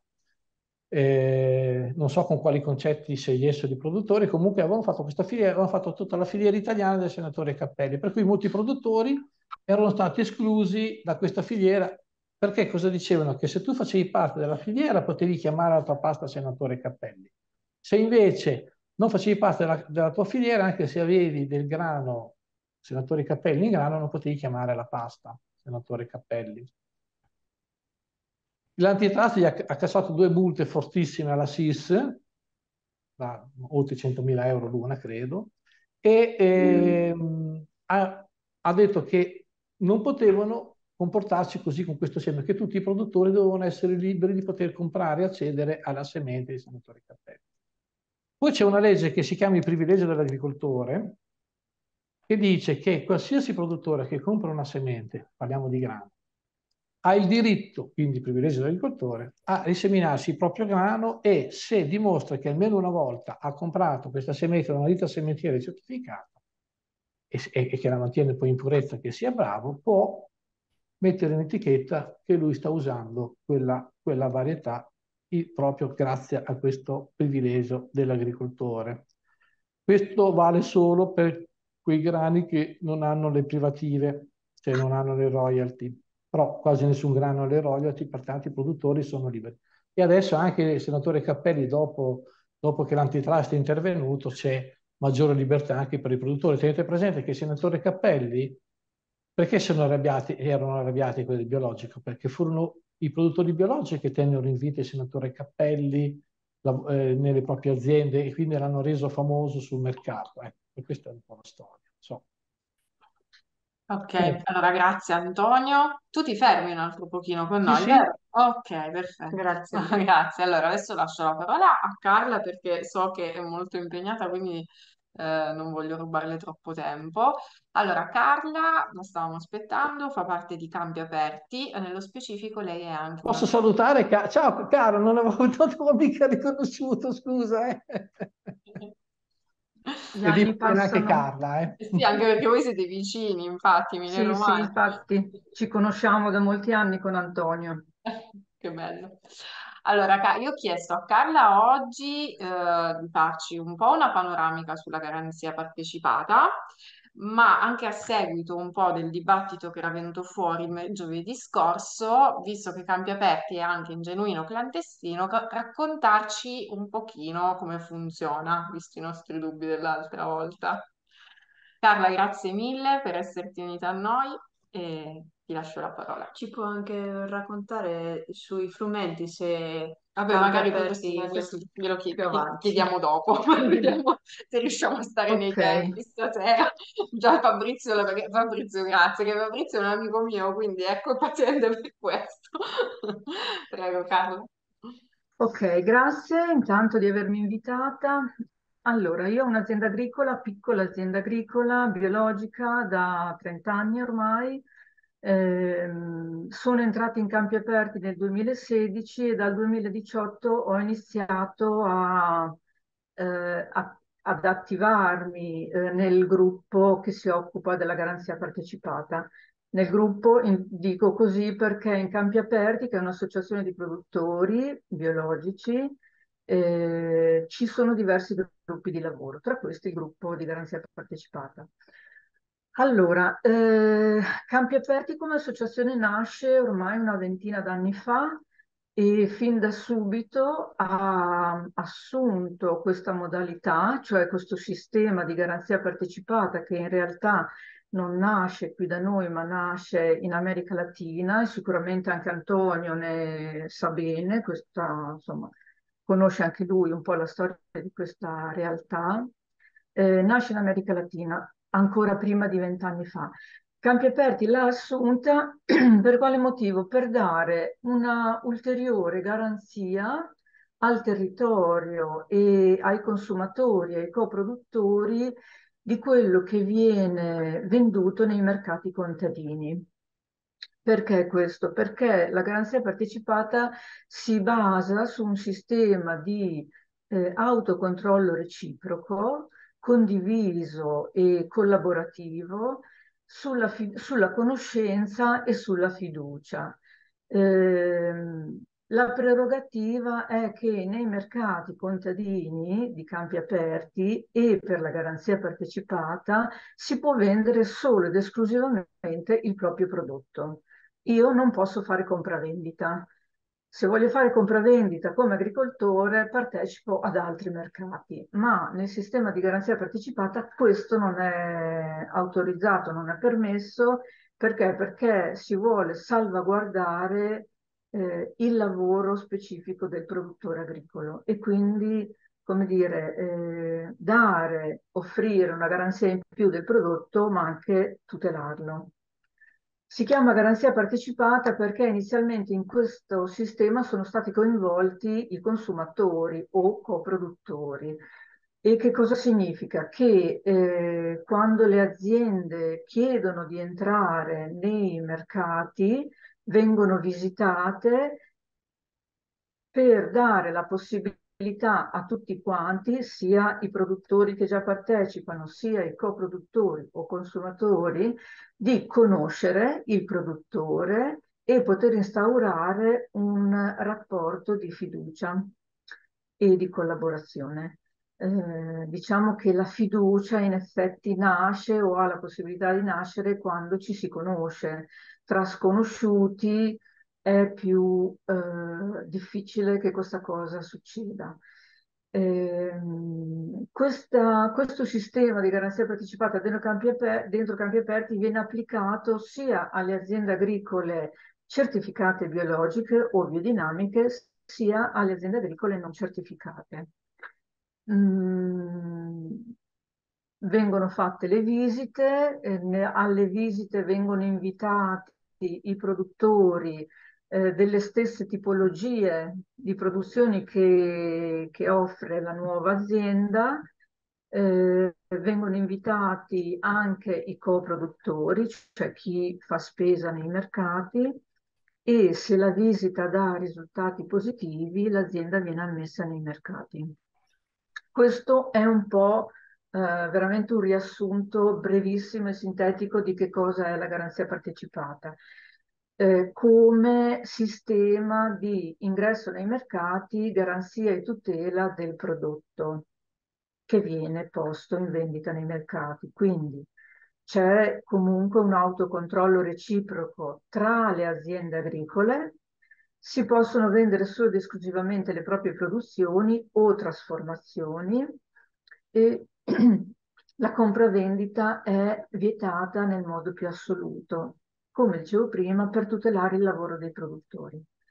Eh, altri aspetti della garanzia partecipata sono questi, e cioè che eh, è capitato, può capitare che vengano fatte delle segnalazioni eh, quando un'azienda agricola non rispetta i regolamenti e mh, la segnalazione serve come posso dire, a eh, testimoniare appunto la mancanza di rispetto del regolamento e lì parte una procedura, che è una procedura di verifica eh, che si basa comunque sempre su una relazione umana, prima di tutto, eh, che non ha l'intento di eh, castigare o espellere l'azienda agricola che momentaneamente o che per qualche motivo non sta rispettando i regolamenti, ma assieme all'azienda agricola eh, si, si, si, va a, a, chiedere chiarimenti e spiegazioni del perché e del come mai. Perché questo? Perché non vuole essere un atteggiamento punitivo, assolutamente, ma vuole essere una relazione mh, veramente di autoaiuto quando è possibile e quindi si cerca di capire qual è stata la motivazione che ha portato l'azienda agricola in quel momento magari a uscire dal regolamento. Quindi c'è questo primo approccio, eh, una volta capita la motivazione si cerca di aiutare l'azienda a, a rientrare nei regolamenti se c'è una motivazione di disagio all'interno dell'azienda che ha provocato questo. Se invece la motivazione è proprio la volontà esplicita di trasgredire, no, trasgredire le regole, ma di entrare in concorrenza con i propri eh, colleghi, cioè con gli altri produttori, magari facendo compravendita oppure trasformando dei prodotti che non è possibile trasformare, insomma in qualche modo l'azienda viene richiamata viene comunque visitata e se proprio non c'è verso che l'azienda spieghi delle motivazioni valide o si capisce che non ha nessun interesse a rispettare i regolamenti, allora a quel punto viene, può essere espulsa e viene espulsa. Eh, sempre la garanzia partecipata si occupa anche di altri aspetti che sono il verificare all'interno di un'azienda che le relazioni con i dipendenti siano sane ed eque e rispettose, cioè che i dipendenti non vengano sfruttati, ma che vengano eh, rispettati come persona e retribuiti giustamente ed equamente, e anche quando eh, un'azienda è in via di trasformazione. Per esempio, un'azienda eh, prende in affitto dei nuovi terreni, acquista dei nuovi terreni, vuole aumentare o diversificare le proprie produzioni, a quel punto fa una richiesta, eh, il gruppo di garanzia partecipata o l'associazione, insomma, c'è tutta una prassi, eh, come dire, che ci siamo dati da seguire. Viene, questa azienda fa una richiesta, l'azienda viene visitata nuovamente, anche se è già inserita dentro campi aperti, per verificare che la richiesta corrisponda alla realtà. Questo perché? Perché il sistema di garanzia partecipata, che è un autocontrollo reciproco costante sia all'interno dei mercati che fuori dai mercati, è, ehm, come dire, presta un'attenzione costante su questo aspetto del garantire le produzioni, perché potrebbe essere, cioè non succede mai, non è mai successo, però potrebbe essere che un'azienda chieda di aumentare le proprie produzioni, poi magari non è vero e acquista e rivende. Ecco, devo dire che non è mai successo, eh? però eh, proprio per evitare che succeda abbiamo delle varie procedure che servono a eh, continuare a poter offrire la garanzia ai consumatori, ai coproduttori. Questo è un po' il succo, direi che ho detto un po' tutto quello che riguarda la garanzia partecipata. Io ho una, una riflessione, una domanda, non lo so se proprio... Allora, prima Antonio, mi sto a confondere con tutte queste certificazioni. Allora, prima Antonio diceva che ehm, nei mercati biologici, chiaramente chi non ha la certificazione biologica non può vendere i propri prodotti. E chi è sotto garanzia partecipata neanche? Allora, bisogna fare una distinzione. Ci sono dei, delle città o dei paesi o delle piccole città dove i mercati agricoli degli agricoltori sono gestiti dalle associazioni di categoria, in modo particolare, io mi riferisco qua in Emilia-Romagna, per esempio, dalla Coldiretti, i mercati di campagna amica sono gestiti da Coldiretti e ed è, e in, nello specifico è Coldiretti che gestisce il mercato e che applica i suoi eh, regolamenti. Nei mercati gestiti dai comuni, eh, sì, i comuni chiedono che le aziende agricole, nei mercati biologici di produttori agricoli gestiti dai comuni, i comuni chiedono la certificazione biologica. Campi aperti è una realtà un po' a parte, nel senso che eh, Campi Aperti è una realtà un po' a parte. Poi ci sono altri comuni che comunque lasciano la gestione dei mercati contadini biologici a delle associazioni di produttori biologici e che questi gestiscono il mercato sulla base di un proprio regolamento. Nella fattispecie anche campi aperti, anche per campi aperti è così e campi aperti quando è eh, nata appunto ormai più di una ventina d'anni fa si è data questa eh, organizzazione di poter far partecipare ai mercati contadini anche aziende agricole non certificate, purché fossero biologiche o biodinamiche o o comunque che praticassero un'agricoltura eh, assolutamente senza l'uso di nessuna sostanza chimica, grazie al sistema di garanzia partecipata, proprio grazie a questa verifica iniziale precedente all'ingresso dell'azienda agricola nei mercati. Bisogna tenere presente che eh, Campi Aperti nasce dentro dei centri, come mercato di, di produttori agricoli dentro dei centri sociali. Questo ha permesso che Campi Aperti si desse un regolamento che prevedeva appunto il sistema di garanzia partecipata e che quindi potessero partecipare delle aziende biologiche di fatto ma senza certificazione, come anche ha permesso di eh, accettare, accogliere, far partecipare delle aziende genuino clandestino, sempre dentro ai, perché è nata dentro ai centri sociali. Dal momento che il mercato ha, eh, come dire, che Campi Aperti è stata riconosciuta dall'amministrazione comunale e è stato concesso, inizialmente era stato concesso un patto, eh, adesso mi sfugge il, la, il, nome, insomma un patto tra il comune e l'associazione, mm, per cui appunto Campi Aperti gestiva, avrebbe gestito i mercati come secondo il proprio regolamento. Questa cosa è andata avanti, ha proseguito, adesso non c'è più questo patto, ci sono delle concessioni, delle autorizzazioni, e, però Campi Aperti ha mantenuto il suo regolamento.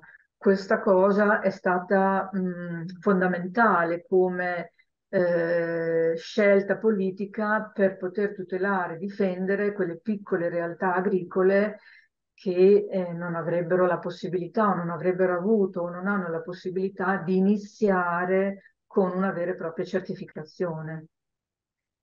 Chiaro. Quindi ci sono delle città, per esempio Modena, i mercati biologici sono, tra virgolette, autorizzati dal comune, ma il comune ha scaricato la gestione sulle associazioni eh, dei produttori agricoli, però c'è questa clausola che richiede, è il comune stesso che chiede la certificazione.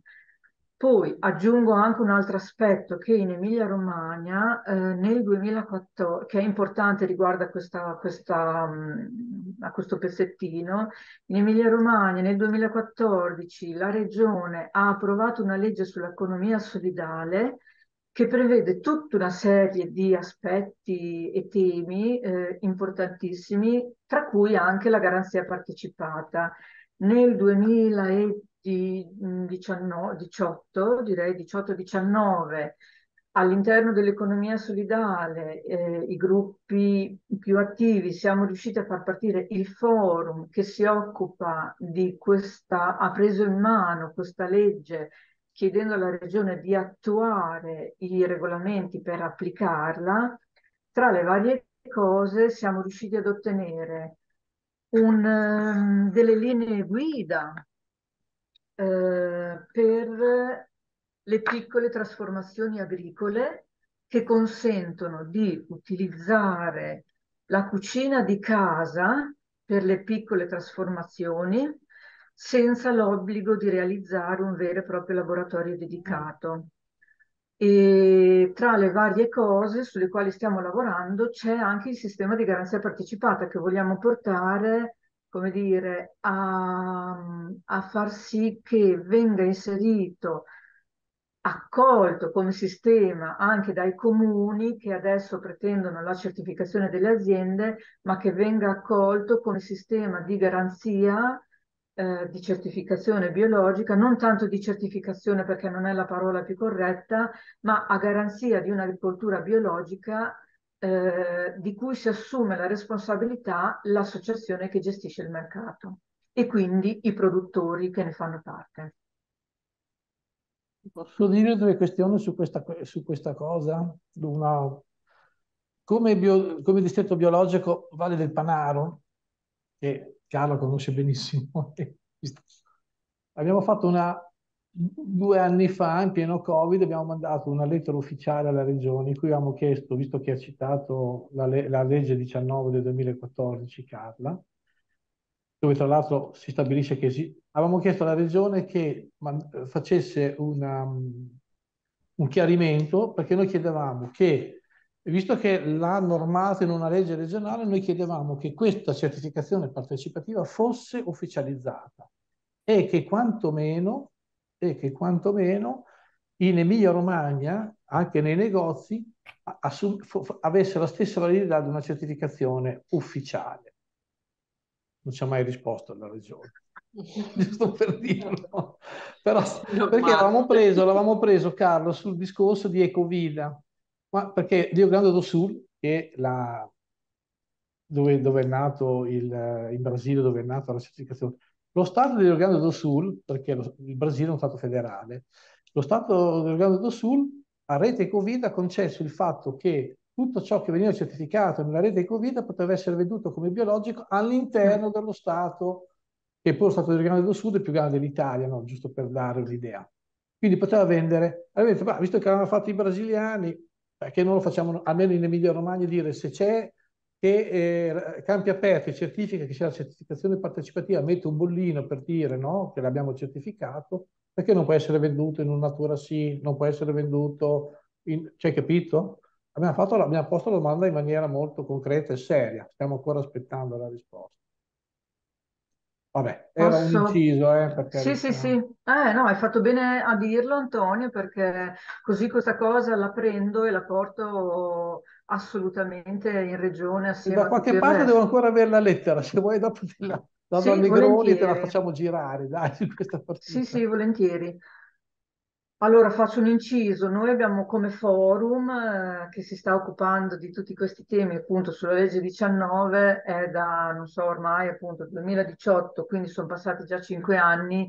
In questi cinque anni abbiamo dedicato tantissime ore di lavoro con pochissimi risultati. Perché? Perché la regione è una struttura burocratica pachidermica che eh, ragiona vede, sente, ragiona e si muove, cioè risponde alle richieste solo ed esclusivamente su delle vie a senso unico.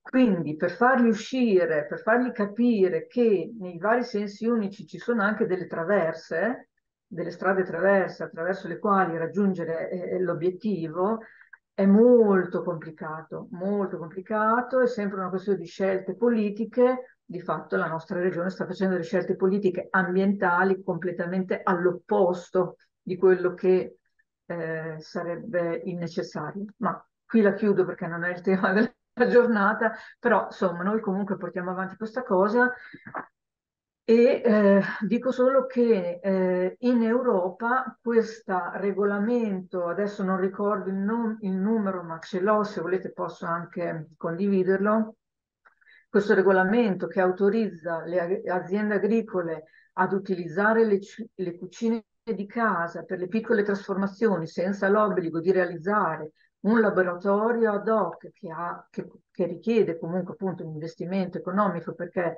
dobbiamo ricordarci che qua in Italia le trasformazioni alimentari sono paragonate tanto nel piccolo, cioè sia quelle piccole sono paragonate all'industria, per cui io che trasformo, mettiamo 10 quintali di grano in un anno, devo avere lo stesso laboratorio di chi fa 10 quintali in un'ora. È chiaro che insomma la, la, richiesta è insostenibile per un piccolo, per una piccola azienda, soprattutto che voglia iniziare a partire. Ecco. Questo è. Eh, se volete farmi qualche domanda sul genuino clandestino o se no specifica, se no posso dire due cose. Michela o Gianluca, l'altra volta era nata la curiosità, o se no ti chiedo appunto di fare una panoramica sul genuino clandestino, giusto per presentarlo, anche perché l'altra volta appunto si era chiesto, genuino clandestino non è un'associazione, non è strutturata, giusto? Però Esatto, è un marchio ormai. Cioè, un- Allora, diciamo che sì, c'è il marchio, eh, il nome genuino clandestino dice che cos'è nello specifico, genuino perché, eh, perché tutto quello che viene trasformato e prodotto proviene esclusivamente dai propri campi. Non si fa, eh, io non posso comprare il- la farina da un produttore, ci faccio il pane e poi lo vendo nel mercato. No, io mi devo produrre la materia prima, la trasformo e la vendo nel mercato. Quindi genuino perché io do la garanzia del fatto che il mio prodotto è mio ed è biologico, anche se non è certificato, perché parte dal sistema di garanzia partecipata. Clandestino perché? Perché questa cosa che ho appena detto su, questa, eh, su queste linee guida approvate dalla regione dopo quattro anni, 4-5 anni di lavoro solo l'anno scorso, eh, adesso nel momento in cui ogni azienda va a chiedere l'autorizzazione di, la- di poter utilizzare la propria cucina, diventa regolare. Ma finché non fai questa domanda continui a essere un clandestino se non hai un laboratorio. Quindi il nome nasce da lì il marchio nato sempre dentro campi aperti e Genuino Clandestino nasce dentro campi aperti proprio per eh, dare la possibilità a queste piccole aziende di crearsi un reddito. Perché è chiaro che se io coltivo dei cereali, ha voglia di crearmi un reddito vendendo della farina o faccio sette mercati alla settimana e quindi non mi rimane il tempo per lavorare oppure, e, e comunque dovrei venderne dei quintali. Perché? Perché eh, il margine di guadagno è molto basso. Il margine di guadagno per un produttore agricolo dove sta? Nella trasformazione, nel vendere un prodotto trasformato.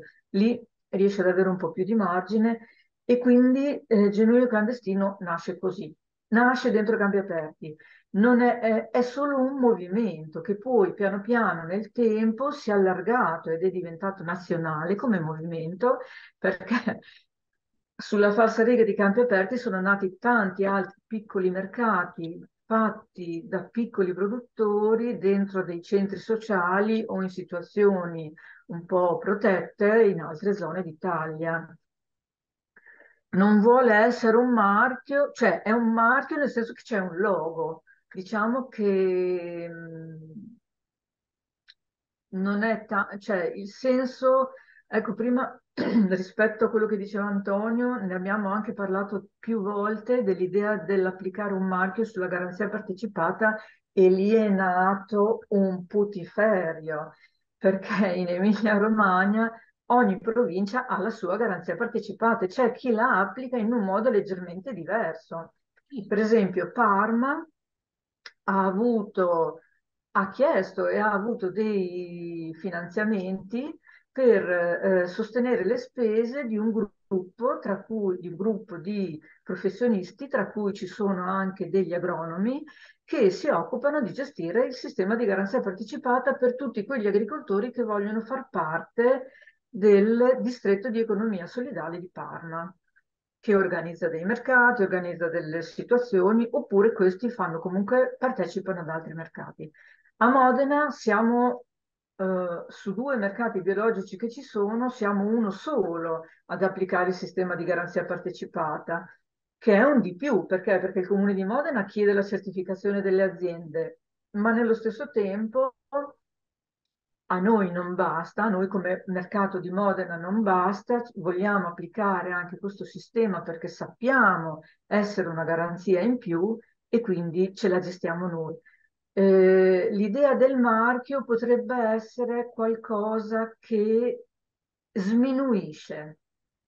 Primo perché vorrebbe dire che ogni provincia ha il suo marchio e sarebbe, cioè, potrebbe diventare veramente complicato riconoscerli tutti, e poi perché avere una, come si dice, un simbolo potrebbe, il rischio è alto perché noi umani siamo abituati a falsificare qualsiasi cosa quando ci fa comodo e quando ci torna utile, potrebbe, eh, come dire, eh, appunto, rischi- cioè il rischio di essere sminuito, mentre invece il fatto che non ci sia un marchio e il fatto che c'è la faccia di ogni produttore che fa quel mercato a garanzia del prodotto è, un se- è qualcosa che, eh, per cui ogni produttore si assume un, il, il proprio pezzetto di responsabilità, senza che sia il bollino che viene applicato sul sacchetto o, su, o sul prodotto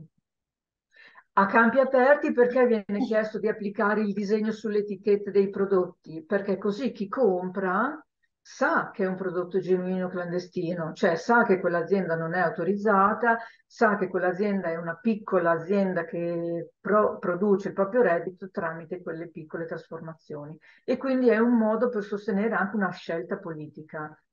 Eh, diciamo che comunque anche in genuino clandestino c'è un regolamento che vieta alcune cose come per esempio eh, la produzione dei prodotti più a rischio, che sono intanto tutti gli alcolici, sono proprio vietati nei mercati di campi aperti. E, e ah, neanche il vino, quindi Carla, scusami. Ah, scusa, no, no, no, mi sono espressa male. I super alcolici. Ok, no, no, perché mi sono espressa no, male. come il Sì, sì, no, no, no, il vino ce n'è in abbondanza. No, e invece i sottoli. I sottoli sono assolutamente vietati perché sono molto delicati come prodotto e quindi viene richiesta un'autorizzazione sanitaria perché, perché l'autorizzazione sanitaria prevede tutta una serie di normative che garantiscono quello non, non... Sì, diciamo che c'è comunque una tutela, un'attenzione alla tutela sia di chi produce, ma anche di chi, cioè, sia di chi produce e di chi consuma. È fondamentale. È una domanda che ci avevamo posto la volta scorsa. Eh, i, ehm, i gruppi di acquisto che vorrebbero acquistare eh, dei prodotti da un, da un agricoltore che fa parte della- del movimento di genuino clandestino, come se un gruppo d'acquisto, diciamo, formale, quindi un'associazione, come dovrebbe, quale sarebbe la costale del pagamento, come si dovrebbe fare la fa- in caso, potrebbe fare fattura l'agricoltore. E questa, questa era una domanda che ci avevamo riflettuto e non sapevamo come rispondere. Che tra l'altro in Fuori di Zucca ce l'abbiamo pure dei produttori che aderiscono alla rete genuino clandestino, però poi loro hanno anche, eh, forse Fabrizio me lo, sa- lo saprà anche spiegare un po' meglio di me, hanno una rete diciamo di autogaranzia che Terra Fuori Mercato, no? Sono insieme, no? Fabrizio, Terra Fuori Mercato e genuino clandestino.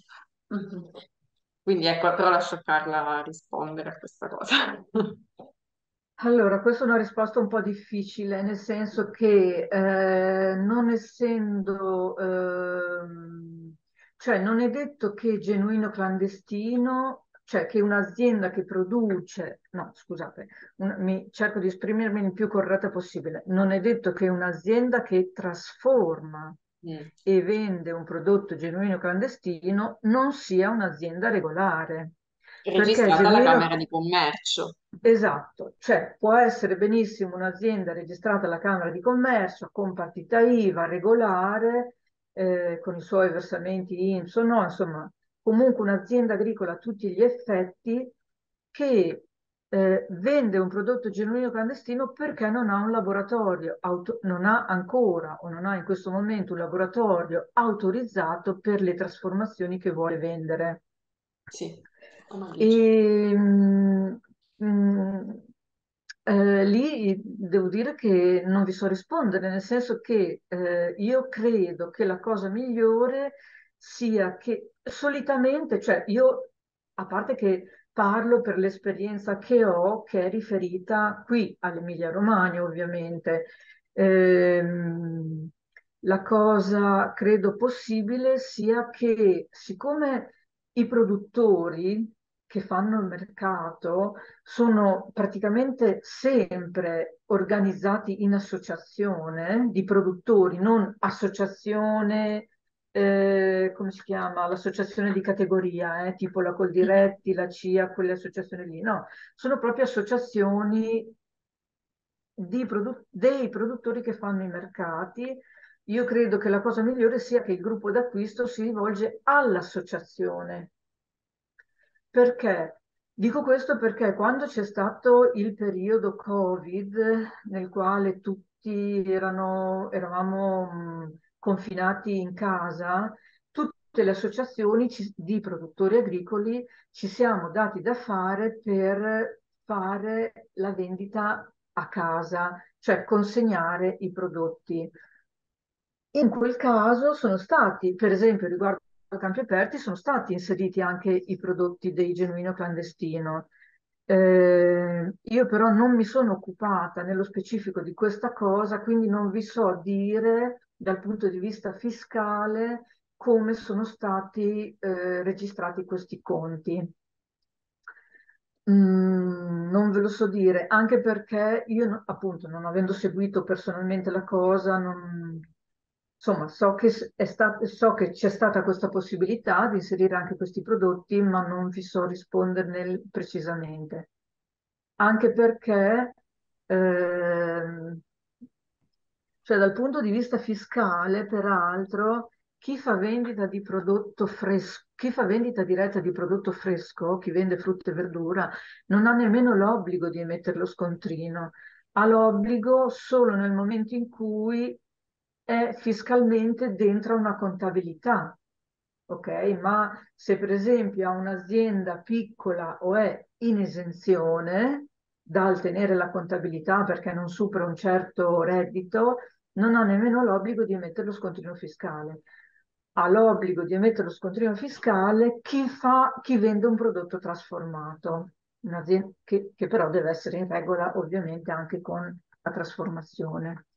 Sì, questo poi magari c'è l'incontro con Cinzia Cimini che ci darà tutte le direttive. Le... Faccio una, come dire, Ok. inserisco un secondo, perché la domanda era nata in realtà dal fatto, par- cioè, come dire, si ipotizzavano delle situazioni che al momento non ci sono. Noi siamo un gruppo d'acquisto, ma siamo informali e abbiamo avuto la, come dire, l'offerta da parte di altri gruppi di far parte di una sorta di rete eh, rete che potrebbe diventare anche nazionale, di prodotti di genuino clandestino.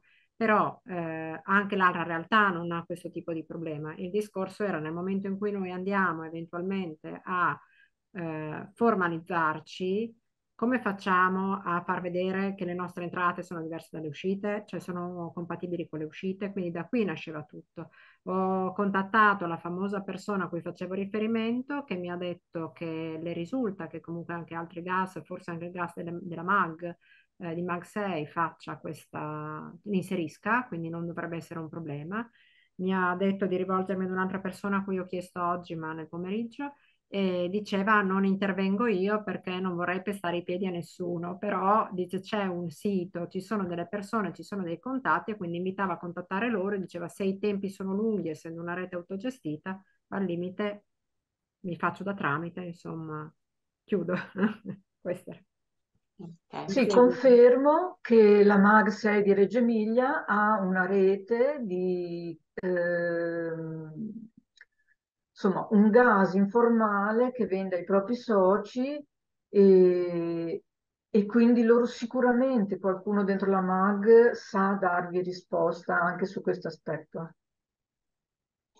Che io, cioè, questi aspetti fiscali proprio sono una lingua che conosco poco.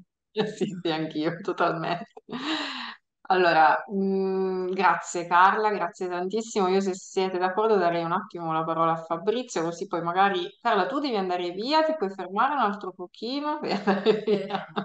Io mi posso fermare 5 minuti, poi ho il forno che mi aspetta, perdonatemi, ma domani a mercato sono indietrissimo con le trasformazioni e quindi resto fino alle 7 meno un quarto. Perché Ok, poi io alle qualcuno vuole- 9 allora, facciamo così, qualcuno vuole chiedere qualcos'altro a Carla, la salutiamo, così lascio magari la Avrei una parola. curiosità, sono Erika, buonasera. Buonasera Erika, prego. Sì. Grazie. Una curiosità, sempre tornando alla garanzia partecipata, se in base all'esperienza di Carla ehm, riguarda, coinvolge solo, diciamo, piccoli produttori che iniziano a, a lavorare avendo già, diciamo, un'ottica eh, bio, oppure se è successo magari che qualche azienda, magari media, medio-piccola, non so, ma convenzionale, si sia mh, votata, diciamo, e si è entrata nel meccanismo della garanzia partecipata per, diciamo, una riconversione, ecco, se, se è successo. Grazie. Eh, sì, è successo. mm, so che allora io non sono in campi aperti da tantissimi anni perché appunto sono entrata nel 2016. C'è chi è nell'associazione da più tempo di me e so che alcune aziende che fanno parte di campi aperti da più tempo eh, vengono dal mondo del convenzionale, ma che si sono, eh, cioè che hanno fatto la scelta di convertire l'azienda perché mh, resesi conto del valore del convertire un'azienda al biologico invece che continuare a fare convenzionale per tutta una serie. Poi è chiaro che entrano in gioco motivazioni personali. Per esempio, questa è un'azienda che ha cominciato a vedere morire tutte le persone di famiglia eh, dovute a delle malattie causate dall'uso dei pesticidi. Quindi motivazioni importanti. Ehm, è successo, ce ne sono anche altre di realtà, per esempio aziende medio, piccole medie anche, perché adesso questo esempio era di un'azienda di più di 30 ettari, quindi insomma un'azienda importante.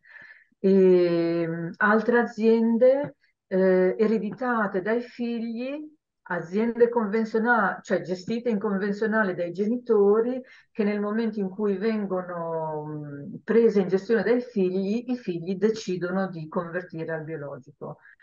Anche lì, ovvio, ci sono motivazioni personali importanti, forti, perché c'è questa maggiore sensibilità alle necessità di avere, di mangiare, di tutelare sano e di tutelare l'ambiente.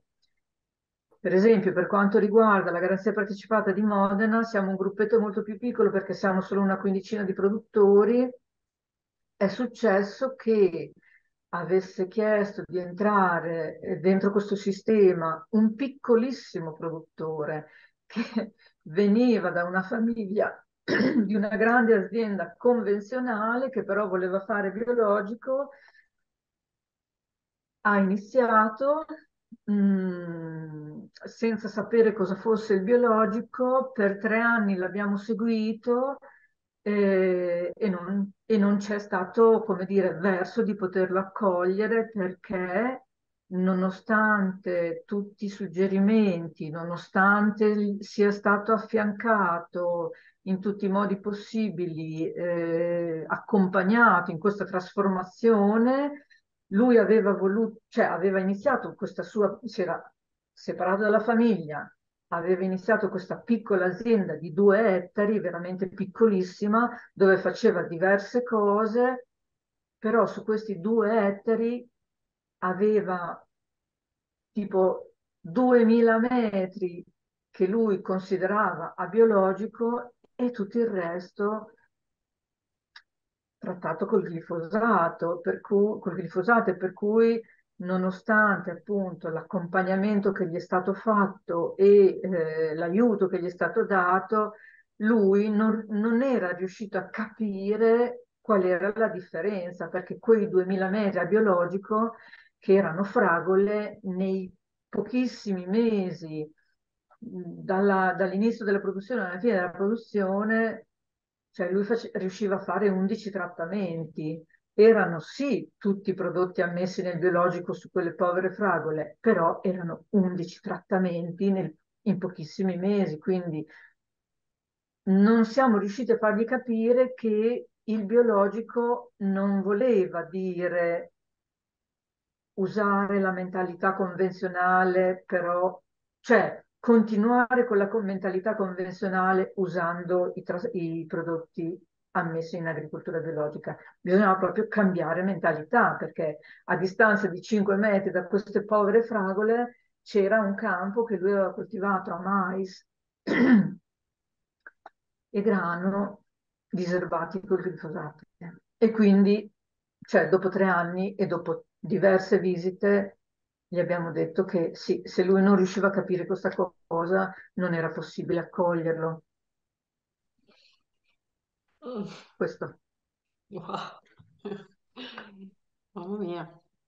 Va Sì, bene. Grazie Carla, grazie mille del tuo tempo e prego. buon lavoro. Grazie, io vi Oggi- ringrazio e vi saluto perché sì, adesso non proprio devo andare anch'io. Buon Grazie. lavoro anche a voi, buona Grazie. continuazione di questo bel progetto. Grazie. Grazie, ciao. Ciao. Ciao, Ciao, ciao. ciao Antonio. Ciao Allora, Carla, ciao, perché avevo il coso chiuso.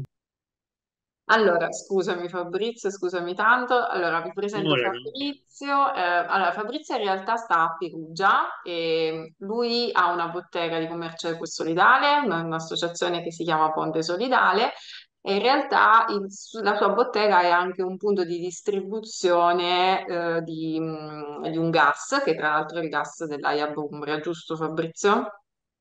Sì, Allora, nello sì, sì. specifico, mh, oggi io ho chiesto l'intervento di Fabrizio in quanto membro del comitato direttivo di Equo Ehm, credo che un po' conosciate già eh, Equo Garantito, e che è un ente di rappresentanza dove all'interno eh, ci sono 70 organizzazioni circa, giusto, se non sbaglio, che supportano attraverso eh, varie attività educative, diffusione, le, diciamo, i, supportano in qualche modo i propri soci.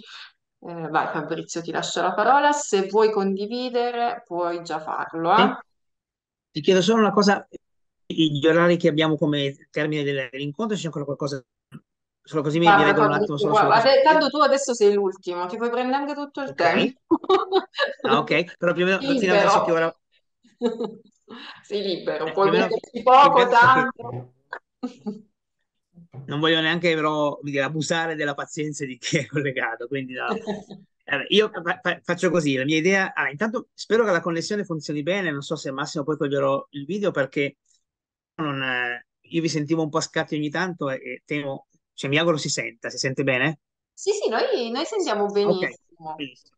Voi invece vi vedo un po' bloccati, eh, però se si sente bene così. Allora, eh, tanto l'idea, come già ho con Morena, è poi quello di lasciare comunque, co- visto che avete questa ottima opportunità della piattaforma, che poi permetterà a tutti voi, insomma, che partecipano anche di interagire e di avere dei materiali che possono essere utili. Quindi poi magari il materiale che intanto oggi vi facevo, pensavo di farvi vedere, sarà comunque disponibile, così come anche ulteriori eventualmente contributi. E quindi, no, eh, allora, intanto mi eh, fa piacere, come dire, a, a culmine dell'incontro di oggi, due interventi avuti, perché in realtà eh, le- i punti di contatto erano tantissimi. Per chi di voi conosce un po' il solidale, sa benissimo che tante delle cose che abbiamo sentito a- questo pomeriggio sono collimanti, no? Si incontrano con il commercio equo. Eh, mh, tra l'altro Morena diceva anche l'esperienza io a Perugia, con Ponte Solidale, questa cooperativa in cui lavoro, lavoriamo con l'AIB e siamo appunto un punto di distribuzione di un godo. Nel frattempo facciamo anche parte fin dall'inizio della rete di terra fuori mercato, quindi la rete con destino. Abbiamo, forniamo prodotti ad entrambi, quindi eh, molte delle confetture dei materiali prodotti realizzati anche nel destino sono fatti attraverso anche magari lo zucchero del commercio equo, il cacao del commercio equo, ma nel contempo abbiamo anche eh, eh, con l'AIAB stessa una grossa collaborazione. Quindi questo per come effettivamente eh, è sensato, ecco, c'è, c'è una sorta di, di comunanza dei percorsi e c'è anche una sorta di comunanza di fatica, di, di condivisione con quelle che sono le leggi che le regioni a volte hanno in questi ambiti. Faccio un esempio molto pratico, poi lo toccheremo forse anche dopo. Esistono anche delle leggi, sul- così come sulle economie solidali, anche sul commercio equo solidale, e spesso sono leggi che non vengono finanziate, cioè messe lì a cappello, quasi per far vedere che si è bravi, si è belli e si è buoni, e poi però non ne vengono messe a disposizione delle risorse. L'Umbria, da questo punto di vista, è una legge, ha una legge regionale attivata in passato eh, che poi è stata definanziata e quindi anche depotenziata e non ha più permesso a tutte le organizzazioni umbre di portare avanti tutta l'attività eh, culturale sul territorio e grazie all'auto delle organizzazioni si è mantenuto questo evento che è Alto Cioccolato, un evento che è ormai una rilevanza nazionale. L'Emilia, di cui alcuni di voi fanno parte, eh, abbiamo sentito anche oggi l'esperienza di Antonio e di Carlo, ha invece fortunatamente anche un'esperienza che poi ha portato a l'esperienza di Rivestiti, no? che è fatta grazie anche attraverso i fondi della legge regionale. In realtà, appunto, anche da questo punto di vista, anche il commercio eco va a confliggere, a, combattere contro la, l'incapacità a volte anche delle, di sapere eh, intravedere e delle potenzialità dal punto di vista educativo che questo argomento, questo tema, questo movimento può portare. E, e poi l'altra cosa che mi, mi, sentivo anche di, così, di mettere come è che l'interessante anche di come eh, a un certo punto Antonio parla di difficoltà citando anche la, la, il discorso delle comunità sudamericane, ma tutte le comunità di produttori nel, nel, sud del mondo, dei piccoli produttori, di accedere al mercato. Questa è una delle caratteristiche fondamentali fin dall'inizio del commercio ecosolidale, ma immaginandosi la fatica di accedere al mercato di produttori del sud come quelli del nord del mondo. Il commercio eco ormai è, ha senso anche pensato nella piana di Rosarno piuttosto che nelle zone dell'agropontino piuttosto che nelle zone delle campagne foggiane, perché comunque in realtà sono queste anche dei, delle zone in cui ormai lo sfruttamento del lavoro, eh, di latitanza etica di un prodotto è, è, molto evidente. E quindi da questo punto di vista penso che sia, sia anche molto bello che ci sia questa sorta di incrocio. E, e poi anche parlando di termini, eh, eh, nel caso del commercio equo, da fin dall'inizio della nascita del commercio equo si è sempre parlato di coproduttori. Prima si parlava di coproduttori, cioè quanto noi in quanto consumatori, quindi questo lo dico anche specialmente per chi di voi ha in mente di mettere su o di partecipare a un'esperienza di un gas, quanto noi come consumatori dobbiamo essere attivi, no? attori di questo cambiamento. Quando si è sempre detto questo slogan, un altro mondo è possibile, eh, lo è anche grazie al contributo e alle, dire, alle scelte. No? Eh, si, si può, il mondo comincia con un caffè. Questo era lo slogan che Commercio per Italia iniziò negli anni 90 e, e, credo che sia ancora molto molto attuale. E tutto questo per dire quanto da questo punto di vista veramente sia molto sensato e sia anche importante, questa è una cosa che ho condiviso con Morena in questi mesi, eh, è anche bello, mi fa anche piacere che si possa toccare l'argomento del commercio ecosolidale come uno degli va a interagire eh, con, con, un gas, chi vuole provare a cambiare un po' anche dal basso l'economia, che sia perché dal punto di vista pratico alcuni prodotti coloniali come il caffè e il cioccolato fortunatamente fanno ancora un percorso, percorso naturale dal punto di vista ambientale, eh, ma semplicemente perché ha un senso che appunto eh, fare delle scelte condivise come quello che può essere un percorso che fa un gas, informale o formale, ha l'importanza che possa andare a cambiare alcune anche su prodotti che in realtà poi su cui a volte forse abbassiamo la soglia, no? Eh, magari poi diventiamo attentissimi al chilometro zero ed è importantissimo che ciò rimanga, ma come dissi della bottega di Bari anni fa facendo un progetto nelle scuole, dimentichiamo vero, cioè dimentichiamo poi tutto quello che c'è ad esempio a volte rispetto alla questione etica e quindi rispetto ad esempio a, un, a uno zucchero, a un caffè, magari poi a volte rischiamo di essere meno intransigenti e meno attenti.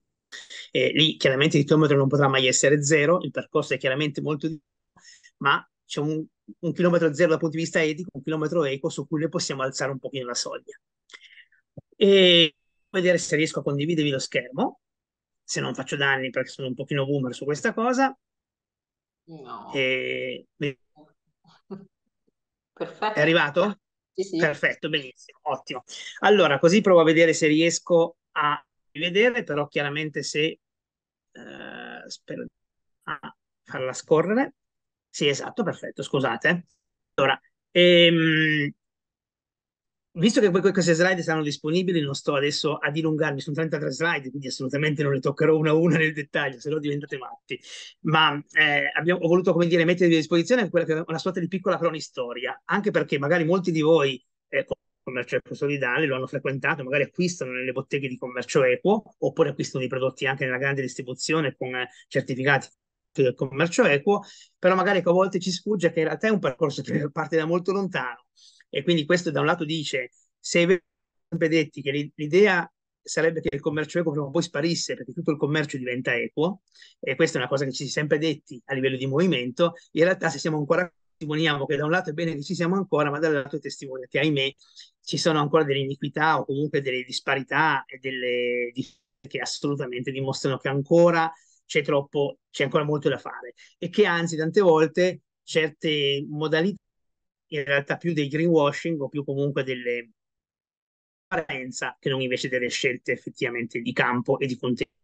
Quindi tutto questo percorso che è nato moltissimi anni fa ha avuto eh, questa svolta, se vogliamo, negli anni 70, nel 60, durante la conferenza dell'UNCTAD, la conferenza delle Nazioni Unite su commercio e sviluppo, ci fu questo slogan, è uno slogan che secondo me può essere interessante e importante ricordare perché fu una sorta un po' di chiave di volta. Si, spesso viene vista la, la, nascita del commercio equo, specialmente in Europa, legata anche un po' a questa, questa frase, cioè non soltanto aiuti, ma un commercio, un commercio fatto, no? fair trade, appunto.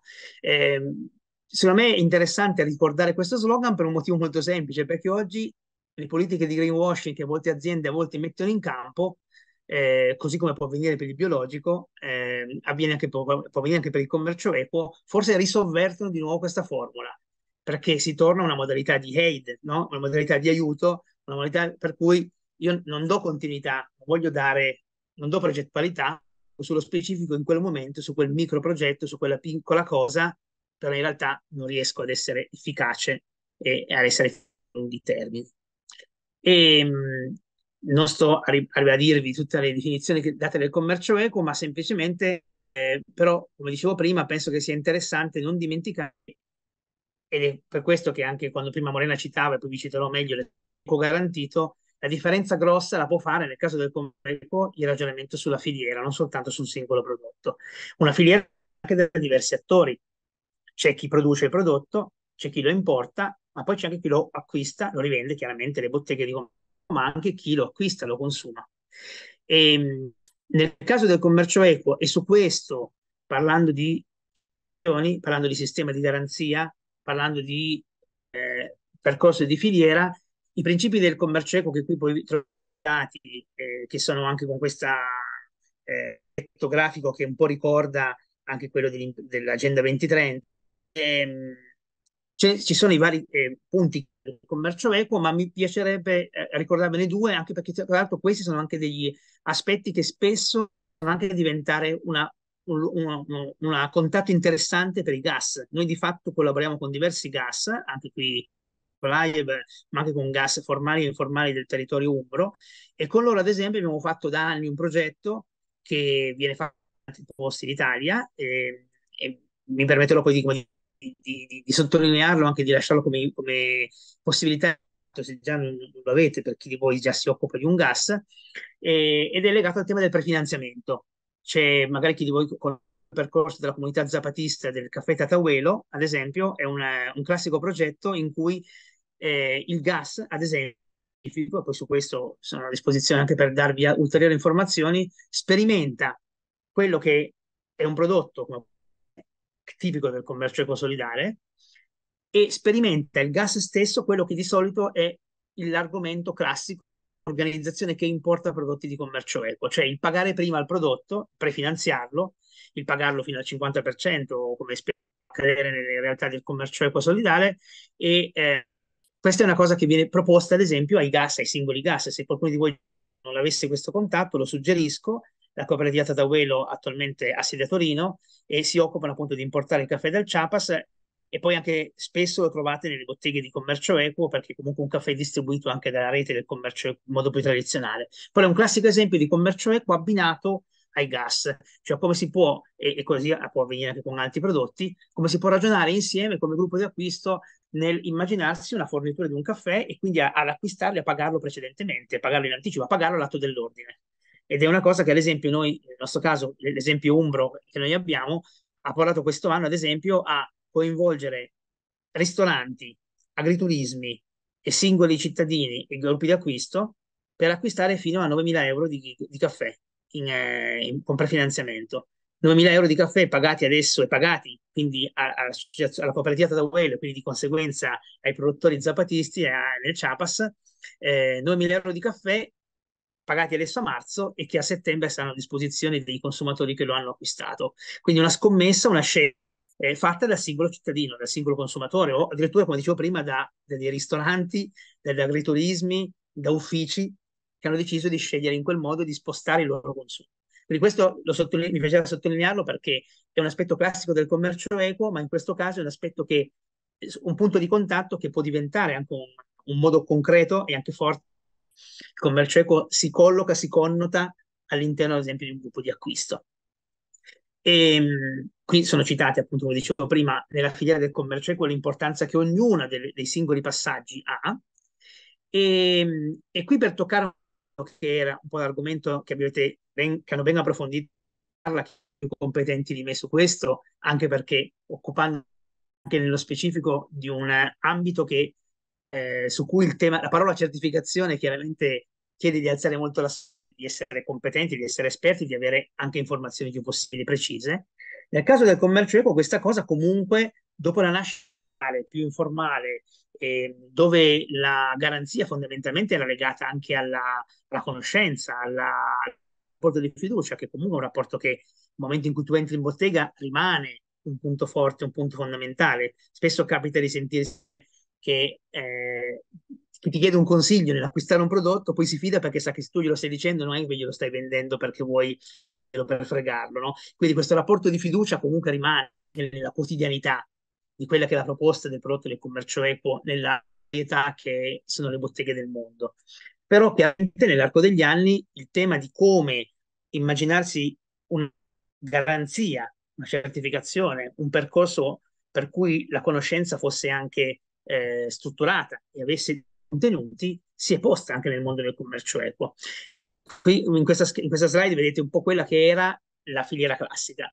C'era chi produceva, importatore per molti di voi magari potrebbe essere altro mercato, uno dei più conosciuti, ma potrebbe anche essere libero come mercato o altri, sono diversi gli importatori di commercio equo per i prodotti alimentari come artigianali, eh, importava, veniva in botteghe del mondo e i consumatori finali con la loro scelta, il più delle volte piccole realtà, associazioni, magari nei piccoli paesi, nelle grandi città, eh, andava a fare il suo acquisto.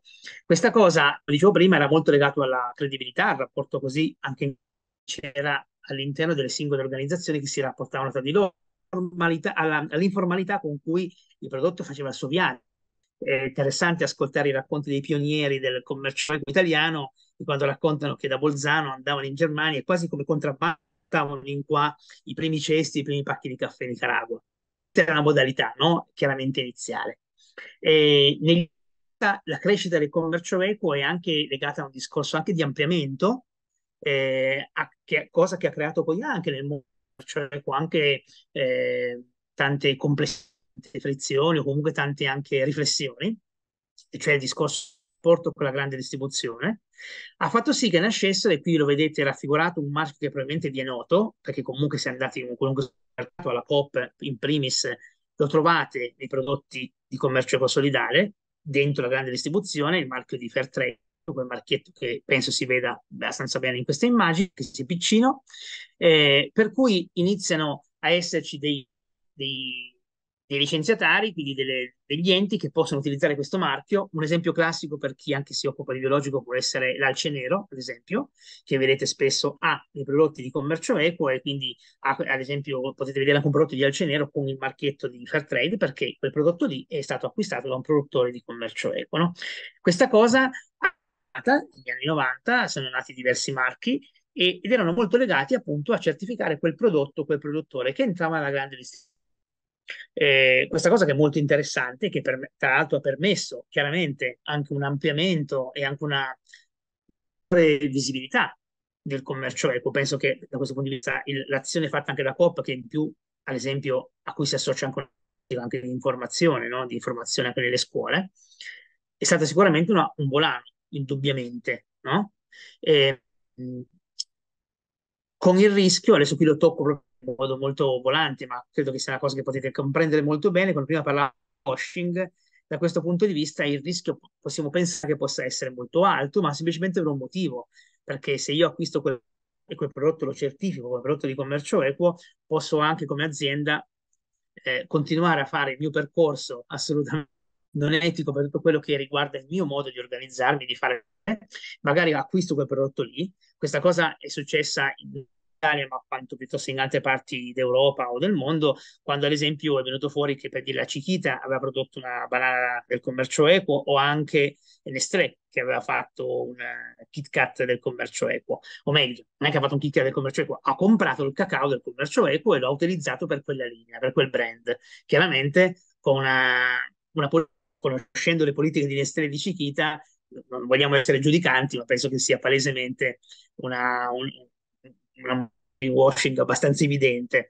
Diverso quando invece possono esserci organizzazioni come avviene e come avvengono anche in alcuni degli a marchio Fairtrade nelle varie organizzazioni, nelle varie grandi, nella organizzata, e quando invece sono delle piccole aziende che magari appunto, come può accadere anche a livello locale, noi qui a Perugia abbiamo un'azienda con cui collaboriamo che tra l'altro collabora con la rete di fuori mercato ma anche con l'AIAB che è il Corniolo azienda locale qui del territorio che utilizza i prodotti del commercio equo prima per poter fare dei trasformati. Quindi in realtà l'idea che, questo, che il prodotto di un produttore certificato sia presente dentro dei trasformati è una cosa interessantissima.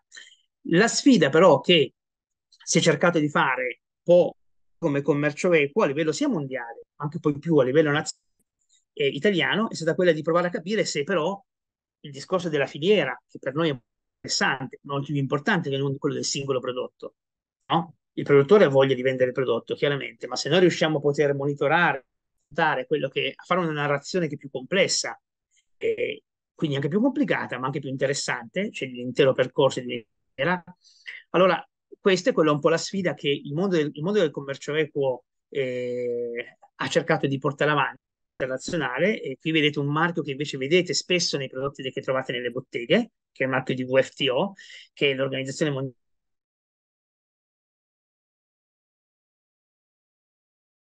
Abbiamo perso Fabrizio, diciamo. Sì, forse tocca dirgli. E gli alimentari. E produttori e importatori, quindi anche... Eh, Fabrizio, ti si sente un po' a scatti adesso, prova a chiudere il eh, video tuo. Prova a chiudere il video, tanto Sì, c'è sì, una presentazione, vediamo se va meglio. assolutamente. Aspetta che provo un attimo solo a vedere se riesco a toglierlo. Se no li togliamo noi. Ah, è vero, te te lo posso togliere io, mi sa, aspetta. Sì, Ah, sì, grazie, sì. sì, perché sto... Bravo, No, sì, perché ho le perfetto. Grazie mille, ti ringrazio. Ehm, no, stavo dicendo che eh, il discorso di WFTO, che è questo marchio che voi ricon- vedete qui, che è lo- l'Associazione Mondiale del Commercio Equo, che eh, è composta dai produttori così come dagli importatori, da questo punto di vista, eh, questa cosa di fare un salto o, o comunque una- un elemento di, di complessità, ma anche di molto più interessante perché ha permesso di poter no, controllo della filiera che ad oggi è il modello che poi dopo adesso vi farò anche vedere molto rapidamente anche nella nostra realtà italiana la realtà di eco garantito. Ehm, Morena mi ha introdotto all'inizio, io appunto mi occupo di commercio eco dal 90, me ne sono occupato fondamentalmente a Torino dove io sono vissuto e dove ho fondato una, una realtà di commercio eco che ancora adesso è esistente, Mondo Nuovo. Poi spostandomi in Umbria ho continuato a occuparmi di commercio eco e da anni sono entrato nel direttivo appunto della, eh, della dell'associazione di categoria che appunto si chiama Eco Garantito. In questo materiale che vi lascerò poi troverete diversi link, tra cui questo ad esempio, che è un... così come troverete anche diversi link, poi vi scorreremo, ehm, eh, sui rapporti annuali. E che vi invito a curiosare a guardare sia perché sono un buon riassunto, un buon racconto di quello che si è, si è fatto e si fa abitualmente. Come di curiosare sul sito di Eco Garantito, ma semplicemente perché avete diversi materiali nell'ottica anche della piattaforma che voi avete, su cui saranno disponibili dei contributi, perché ehm, ci sono molti materiali, quaderni che ogni anno vengono emessi eh, su tematiche che sono molto attinenti, cioè come molto attinenti un po' alle riflessioni eh, che avete condiviso oggi dal tema del biologico, ma anche al tema della, eh, dei temi ambientali, basta pensare al discorso anche legato al, al tessile, eh, quindi tutto quello che sono degli approfondimenti che spesso sono utilizzati anche nelle scuole e utilizzati e utilizzabili anche per approfondimenti personali. E, la nascita in Italia di Eco Garantito, che all'inizio si chiamava Agices, è il fatto che si è deciso di provare a dare una sorta di norma, di forma. È stato un percorso molto interessante, nato nel 98, che ha avuto diversi, eh, dire, diversi anni di lavoro insieme e che ha portato poi alla nascita di fatto di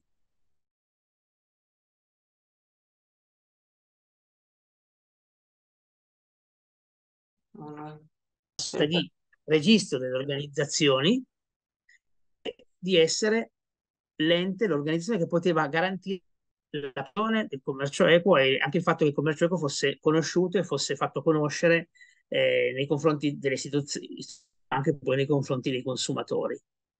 E da questo punto di vista, e qui arrivo anche a, poi a quello che accennava Morena, che troverete anche dettagliato nel rapporto, ad oggi ha permesso a Eco Garantito di essere l'associazione che non soltanto rappresenta il commercio ecosolidale, ma rappresenta anche quelle organizzazioni che poi sui territori sono attraverso le cooperative o le associazioni che gestiscono circa 200 botteghe del mondo presenti in Italia, ma soprattutto anche quegli importatori, quei produttori che poi distribuiscono i prodotti che voi trovate nelle botteghe.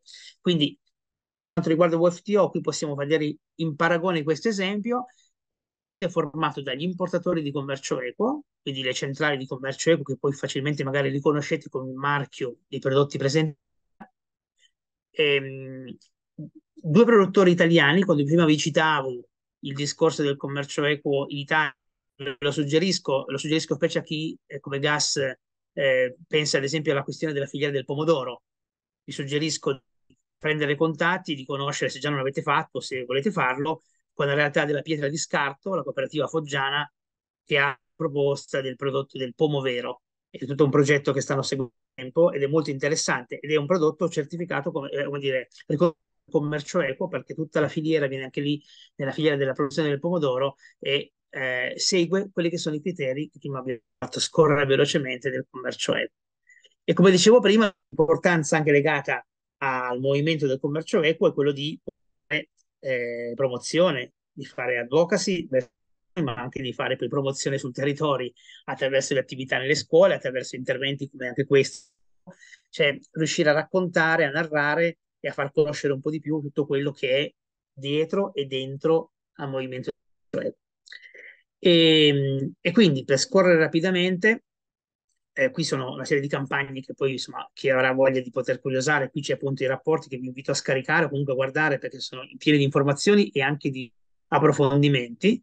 Eh, nell'ultimo di quest'anno faccio uno dell'organizzazione che rappresento e, e Morena conosce anche la Stefania, la nostra presidente, c'è anche un suo contributo sulla Palestina, un progetto che noi da tempo portiamo avanti di cooperazione anche qui sul territorio e a livello nazionale. Ed è in questo porto del 2020 c'è appunto un racconto di quello che è stato anche specifico con un sostegno che ormai va anni e che ha, è molto efficace anche nella promozione dei diritti, in questo caso palestinesi. E, ehm, vi accendo rapidamente, perché oggi si parlava di garanzia, si parlava di, eh, di certificazione, come funziona per quanto riguarda il sistema di garanzia dell'Organizzazione di Commercio Eco in Italia, questo sistema che il Garantito ha proposto e che dal punto di vista anche di, eh, quindi, di sistema di garanzia è riconosciuto anche da, a livello internazionale come un sistema che funziona, che permette a queste organizzazioni di essere, di essere controllate. Con che modalità? ogni anno ognuna delle organizzazioni socie di Ecogarantito compila un modulo di autovalutazione che permette, che ha una serie di criteri, i criteri del commercio eco vengono raccontati attraverso dei numeri, attraverso dei dati che permettono anche di vedere funziona una bottega, una, eh, una cooperativa che poi ha delle botteghe di commercio eco. E valutatori, degli auditor, che quindi poi fanno degli audit ogni tanto, ogni, ogni tot di anni, alle organizzazioni più grosse, cioè agli importatori, ma anche alle organizzazioni più piccole, cioè alle, alle realtà come la nostra, che ehm, ha, un, ha, delle botteghe di repo, e, e, a sua volta il certificato da un ente esterno, in questo caso CSQA, che monitora che questo sistema di garanzia possa funzionare. Quindi c'è tutto un sistema di controllo, eh, come diceva prima anche Antonio, le complessità, le criticità che potrebbero essere anche evidenziate o sottolineate potrebbero essere tantissime. Da questo punto di vista questo sistema, questa filiera che è monitorata, controllata e che poi in più a questo ente verifica che tutto questo possa accadere in modo appunto dire regolare, ecco alle organizzazioni di essere eh, di autovalutarsi e di essere valutate eh, e chiaramente ci fossero dei problemi di poter capire quali possono essere i correttivi. E anche per questo eh, quando si diceva prima che cosa può fare anche una categoria in questo caso come eco garantite quello poi di offrire di conseguenza poi ai soci anche il servizio di poter andare a coprire a migliorare rispondere alle criticità o alle difficoltà che possono incontrare prima vi citavo il discorso delle leggi lo, in questa cartina lo evidenzio in modo anche abbastanza, dire, interessante. Purtroppo non sono tante le regioni in Italia, non sono tutte, che hanno approvato una legge sul commercio equo e come vi dicevo prima, su queste 12 poi alcune l'hanno approvata ma non l'hanno finanziata, quindi in realtà è solo cosa così a spot e ad oggi ad esempio non esiste neanche una legge nazionale, quindi da questo punto di vista questo è ancora più complicato. Però ecco, il fare pressione, il fare campagne e cercare di promuovere anche nel piccolo, come con attività nelle scuole, la sfida che come commercio si è cercato di fare continuamente. E chiudo, eh, anche per non essere troppo lungo, eh, nell'ottica di quello che diceva prima eh, Morena, che comunque so che voi avete a disposizione in questo corso, e cioè la possibilità di avere una piattaforma su cui ci sono dei materiali, vi suggerisco, manderò comunque il riferimento di questa piattaforma che è Fairshare, Fairshare che è una piattaforma che da anni abbiamo messo a disposizione e a cui si può accedere, in cui sono disponibili iscrivendosi eh, a livello gratuito dei corsi e delle informazioni, specialmente per chi poi lavora nelle scuole attività, la possibilità di poter avere materiale informativo, poter fare attività e promuovere nelle scuole i temi delle economie solidali e cioè equo. E quindi penso, provo a vedere se adesso il video Ah sì, forse mi devi, mi devi riattivare tu, forse Morena. Sì, aspetta, ti Sei riavvio utile. se-. Allora, ti ho chiesto di riavviare il video, ma Ah, ok, fatto, fatto. E quindi dicevo che eh, questa cosa della piattaforma poi ve la metteremo a disposizione, come dire, la, la aggiungeremo nei materiali anche per chi fosse in è comunque un'opportunità in più, cioè l'idea che eh, raccontare, cioè la narrazione fa la differenza, io continuo a pensarlo per qualunque cosa e, e penso che anche l'incontro di oggi vada anche in quella direzione. Posso anche dire a posteriori, adesso non c'è più ma eh, se capiterà glielo riferirete voi, che ho molto apprezzato anche il fatto, anche l'approccio che Antonio ha avuto anche nel raccontare, ad esempio, quello che poi dopo Carla specifico. Non è così scontato perché invece in altre realtà in giro per l'Italia a volte invece queste complessità si polarizzano, no? Le diversità possono essere occasioni di polarizzazione e anche di conflitto. Invece il poter costruire dei percorsi insieme penso che sia invece molto più interessante, ci sono dei limiti, prima si citava il discorso della fiscalità, è un problema che ad esempio anche a me spiace, io in bottega non posso vendere un prodotto di, di genuino clandestino. È vero? Io, eh, infatti era quella, non, non lo eh, puoi vendere eh, tu, vero? Se, eh, eh, dipende dalle aziende, alcune genuino clandestino, se sono anche, hanno anche la loro forma fiscale legale, allora le posso vendere. Adesso Ok, quindi cioè, chiaramente in, quella modalità lì non lo posso vendere.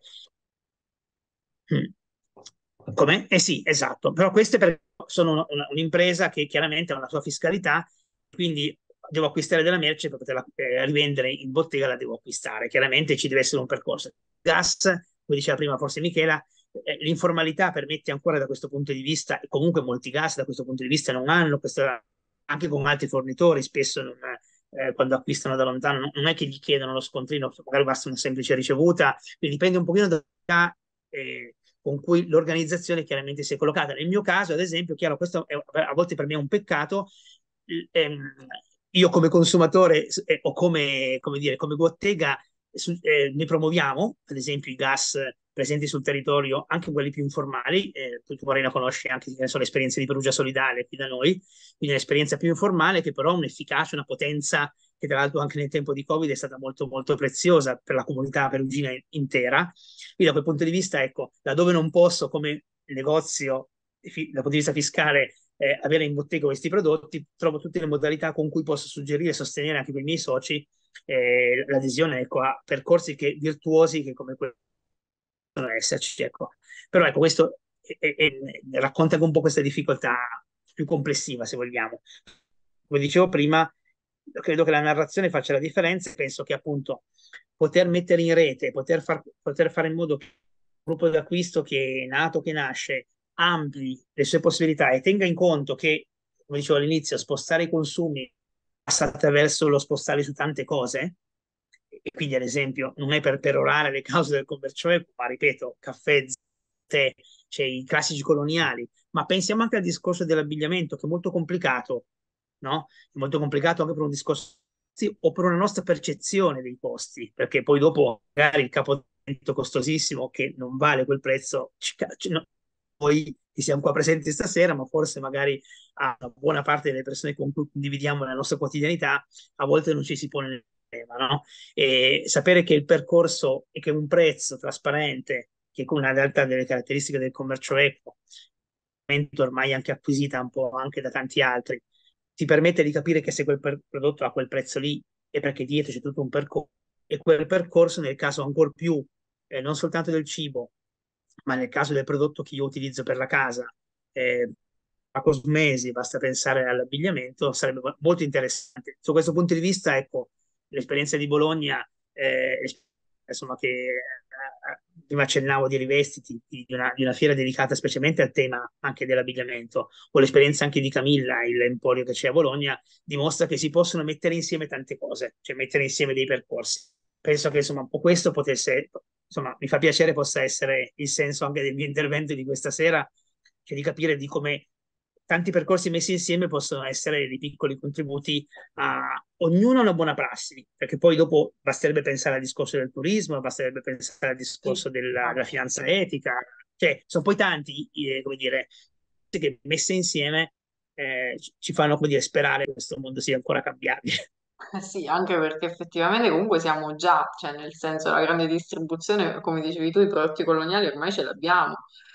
Quindi trovare una strada che sia rispettosa per tutti, eh, sì, eh, anche aprirsi, cioè, so- sono totalmente a favore io della- dell'apertura, tanto ormai siamo così, come, come diceva Vince- eh, Antonio, eh, dobbiamo adattarci e ci adattiamo anche con- cioè, pensare a un gruppo d'acquisto solidale soltanto un po'. Cioè, l'abbiamo visto anche nelle scorse formazioni, molte testimonianze nelle, nelle scorse de- eh, formazioni sono state tutte, abbiamo avuto questo gruppo d'acquisto molto longevo, 15-20 anni, dopodiché se non trova un'altra forma di espressione o di resilienza, poi alla fine muoio. Eh sì, eh, bisogna comunque trovare la, la strada per cambiare, questa comunque potrebbe anche rientrare tra le prospettive, no? Comunque Erika diceva che anche loro hanno acquistato il, il caffè Tataguelo. Tra l'altro, appunto, Erika potrà anche raccontarvi se perfetto, bravo che era ottimo. E non so se avete visto quel materiale anche. Vedi, vedi, vedi, vedi, rispondiamo a porte aperte, quindi perfetto, Sì. meglio così. Ma la cosa interessante, voi forse, questo potrebbe anche essere un, eh, voi appunto, quindi sia Michele che Erika che si l'hanno conoscendo lo sanno, uno del lavoro quest'anno che ha proposto la cooperativa Tataguela è stata quella anche di ragionare sul discorso dei prezzi. Perché uno dei punti chiave spesso che viene detto è il commercio equo è caro, no? Eh, è insostenibile, non, ci può, non possono, perché io, cioè, come faccio? Eh, mi costa troppo.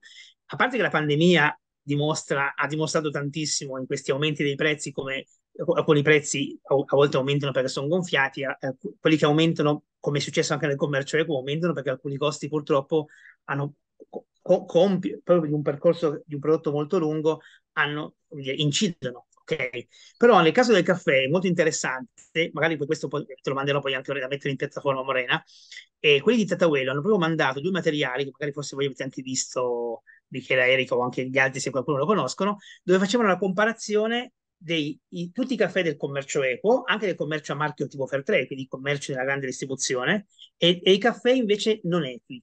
E faceva vedere come il caffè Tataguelo, ancora più se prefinanziato, quindi con questo acquisto che peraltro per, permette uno sconto a, a, chi lo acquista, perché lo acquistandolo prima salta, tra virgolette, anche il passaggio della bottega, cioè il passaggio finale della rivendita, il prodotto è un prodotto anche sostenibile dal punto di vista economico, cioè più economico di tanti altri prodotti millantati eh, eh, o anche buoni o molto, o molto di massa e molto conosciuti. Anche da questo punto di vista è interessante anche questo discorso perché permette anche di, di cambiare un po', anche un po' i parametri con cui a volte c'è un po' il rischio che magari alcuni prodotti dal consumatore normalmente, a volte anche da qualche gas, no? Per cui magari io conosco dei gas con cui lavoriamo che eh, vendono l'universo mondo un prodotto di commercio equo, ma non, non gli chiedo di mettere il miele, eh, posso capire benissimo, gli chiedo di mettere magari un prodotto che comunque non hanno, perché c'è un po' questa, questo timore quasi che sia, no? c'è poi il rischio che il nostro lista poi non, non, ci stia dentro perché costa troppo. Ecco, la scaffettata quello è uno di questi esempi che eh, anche con te si può smontare questa, questa percezione. Michela c'ha la mano alzata. Vai, Michela. Volevo fare un commento che, come dire, è banale, cioè, però lo faccio, cioè, come dire, lo riporto perché sono poi commenti che vengono detti. Eh, verissimo il discorso del prezzo. Nel momento in cui un prodotto dell'altro mercato, adesso far tre, far tre no, cos'è l'altro? Libero Mondo probabilmente non è dentro la super, i supermercati, potrei no. confondermi. No. Esatto. Allora, nel momento in cui un altro mercato entra nel supermercato e io riesco a trovare il caffè, lo zucchero, eccetera, eccetera, ad un prezzo che è più basso di quello delle botteghe, e non ne capisco il valore e il significato, certo che gli ho aperto un mercato, però il messaggio che poi arriva, quello che è il consumatore critico, è abbastanza, il consumatore critico nel senso quello che magari ha anche la disponibilità economica e la consapevolezza per fare un certo tipo di scelte, è abbastanza... Ehm, come posso dire, conflittuale, no? Insomma, cioè apre tutta una serie di valutazioni, come quando si dice la pasta iris, anche questo dico una cosa banalissima, insomma, no? Però il tema anche tra di noi complesso, eterno, eh, che pasta dobbiamo prendere? La iris ce la prendono tutti, quindi noi riusciamo a fare un ordine che è accessibile, Mhm. che porta persone, eccetera, che ti permette da un lato di togliere soldi alla grande distribuzione, per cui tu dici il mio movimento di ehm, sottrazione delle risorse, tra virgolette, al nemico, anche se uno non dovrebbe mai, cioè siamo tutti in termini di guerra, eh, però insomma, eh, grosso modo. Cioè io lo posso fare, sono comunque tanto contenta perché va bene, è stata la Iris e io comunque ho raggiunto l'obiettivo, oppure faccio, dicevo l'altra volta, le famose 3.000 euro, eh, devo all'inizio, insomma sì, l'altra volta, eh, le mie 3.000 euro di acquisto complessivo e dico che bello, 3.000 euro in meno alla grande distribuzione. La grande distribuzione neanche se ne accorge. Poi la persona che invece comincia a entrare nelle dinamiche del processo, magari la Iris non la vuole non perché non sia eh, un prodotto valido, ma proprio perché ci sono tutta una serie di... Ehm, dico compromessi ma improprio, cioè perché la Iris in qualche modo alimenta il sistema nel momento in cui vende alla COP, no? Eh, mm-hmm. ne voglio prendere un'altra di pasta, diventa non accessibile. Quindi io come gas posso proporre un, alla gente di comprare un pacco di pasta, cioè dovrei fare le distribuzioni ogni volta. Quindi in questo senso anche il discorso del dire rifletto, investo, è un prodotto, eh, ma nel momento in cui me lo trovo al supermercato si genera un pochino di confusione e anche di, come dire, qualcuno poi arretra. Certo. Beh, guarda, su questo ad esempio, eh, ciao, e su questo, ad esempio, eh, il discorso è molto complesso e non lo, non lo esoriamo sicuramente in pochi minuti, no? E anche l'esempio dell'accesso del, del commercio con la grande distribuzione. Come dicevo prima, ad esempio, eh, il discorso del, del, singolo prodotto che trovi nel commercio eco, come fa la Coop, come fanno tanti altri, questo è sem- c'è sempre stato, c'è stata una cosa, dire, ci sono delle complessità di visione e comunque alla fine fondamentalmente hai due cose, due, due percorsi un po' diversi, no? Un prodotto dove c'è il prodotto che ha la materia prima certificata e invece un percorso della filiera che è quello delle botteghe che ha tutto un, un discorso di narrazione, di racconto, di, di, dire, di, di quotidianità che è, quello, che è il luogo che è la bottega di commercio eco. E quando ci si è deciso per, eh, a livello di commercio eco, alcune organizzazioni, caso di automercato, di entrare nella grande distribuzione, uno dei paletti che si, mise e che ancora adesso è, comunque rimane, è che il prodotto chiaramente non deve avere un prezzo inferiore, quello palese, no? eh, perché sennò diventerebbe una concorrenza non corretta. E chiaramente potrebbe avere un prezzo leggermente maggiore, no? così come dovrebbe essere, se, laddove avvenisse questa, questa cosa del prezzo inferiore dovrebbe essere segnalata ed è stato fatto anche quando è successo, ad esempio eh, con dell'S lunga, ad esempio, ah, in passato successe, eh, quindi furono segnalati in questo caso di, di esatto, chiaramente... Ovviamente esattamente sì, S lunga, non sì, era successa questa cosa qua, sì, mi ricordo, sulle uova di Pasqua, e chiaramente fu segnalato perché eh, non è che come le uova di Pasqua e poi dopo, tanto se, se tu le, cioè quella era una, chiara dimostrazione, tra virgolette, forse di quell'esercizio lì, di quel, quel posto, non dico di greenwashing, ma molto simile, perché di fatto l'aveva comprata e poi anche pur perdendoci in margine l'aveva venduti anche a, a minor prezzo, ma chiaramente questo non aveva nessun senso. Ecco. E, ehm, chiaramente la marginalità eh, anche la sua incidenza, per cui la possibilità che possa essere venduto anche di più. Da questo punto di vista, tra l'altro, questo ormai viene anche nelle botteghe. Eh.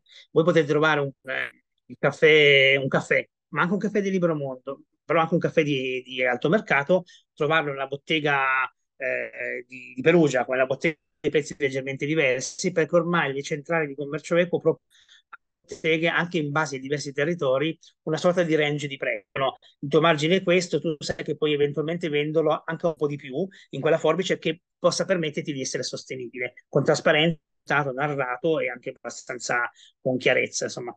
Però questo era per dire che comunque su questa cosa della forbice del prezzo è una cosa eh, potenziale, quindi da questo punto di vista anche se capita nella distribuzione per quei prodotti della rete della filiera del commercio eco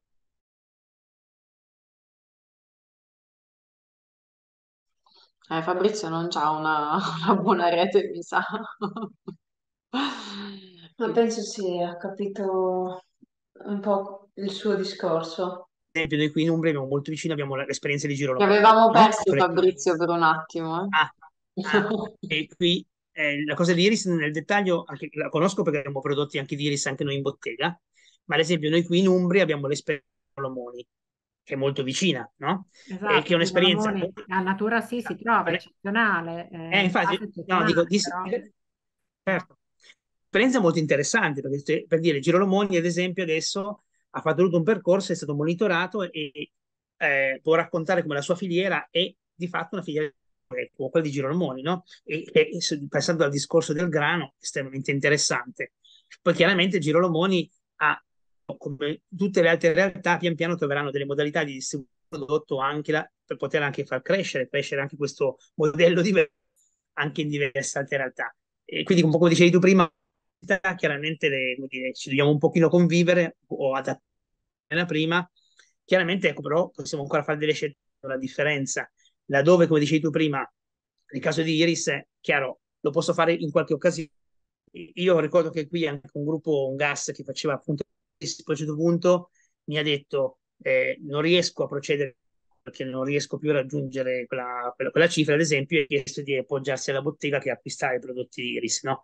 Quindi abbiamo fatto una sorta di lancio da, di tramite, perché in quel caso lì giustamente è diventato magari per qualche piccola realtà fare l'acquisto collettivo, ecco. Però da questo punto di vista, ecco, aggiungo questa informazione, penso che la bottega del commercio del territorio potrebbe anche essere, e mi auguro che lo sia, che ci sono delle, delle possibilità di averci da vicino, anche un pungolo, anche vicendevole per un gas, per anche sollecitarla anche a, a, a, conoscere anche dei produttori che a volte magari nella quotidianità possono sfuggire, visto che comunque ormai le di commercio equo hanno al loro interno anche prodotti prodotti di realtà. Noi, ad esempio, faccio un esempio classico, sviluppare molto una attenzione, un po' perché ci apparteneva anche come cooperativa, al mondo delle economie carcerarie. Penso che nella nostra bottega siano presenti eh, prodotti che raccontino appunto un percorso che da quel punto di vista quelli di libera, esatto, sì. cioè percorsi che abbiano come dire dei contenuti che sono molto vicini al tema del commercio equo. Quindi ecco, da questo punto di vista è interessante che il gas possa eh, raccogliere anche dei suggerimenti, ma anche proporli. Penso che sia anche una, un'idea, secondo me, da portarci via da questa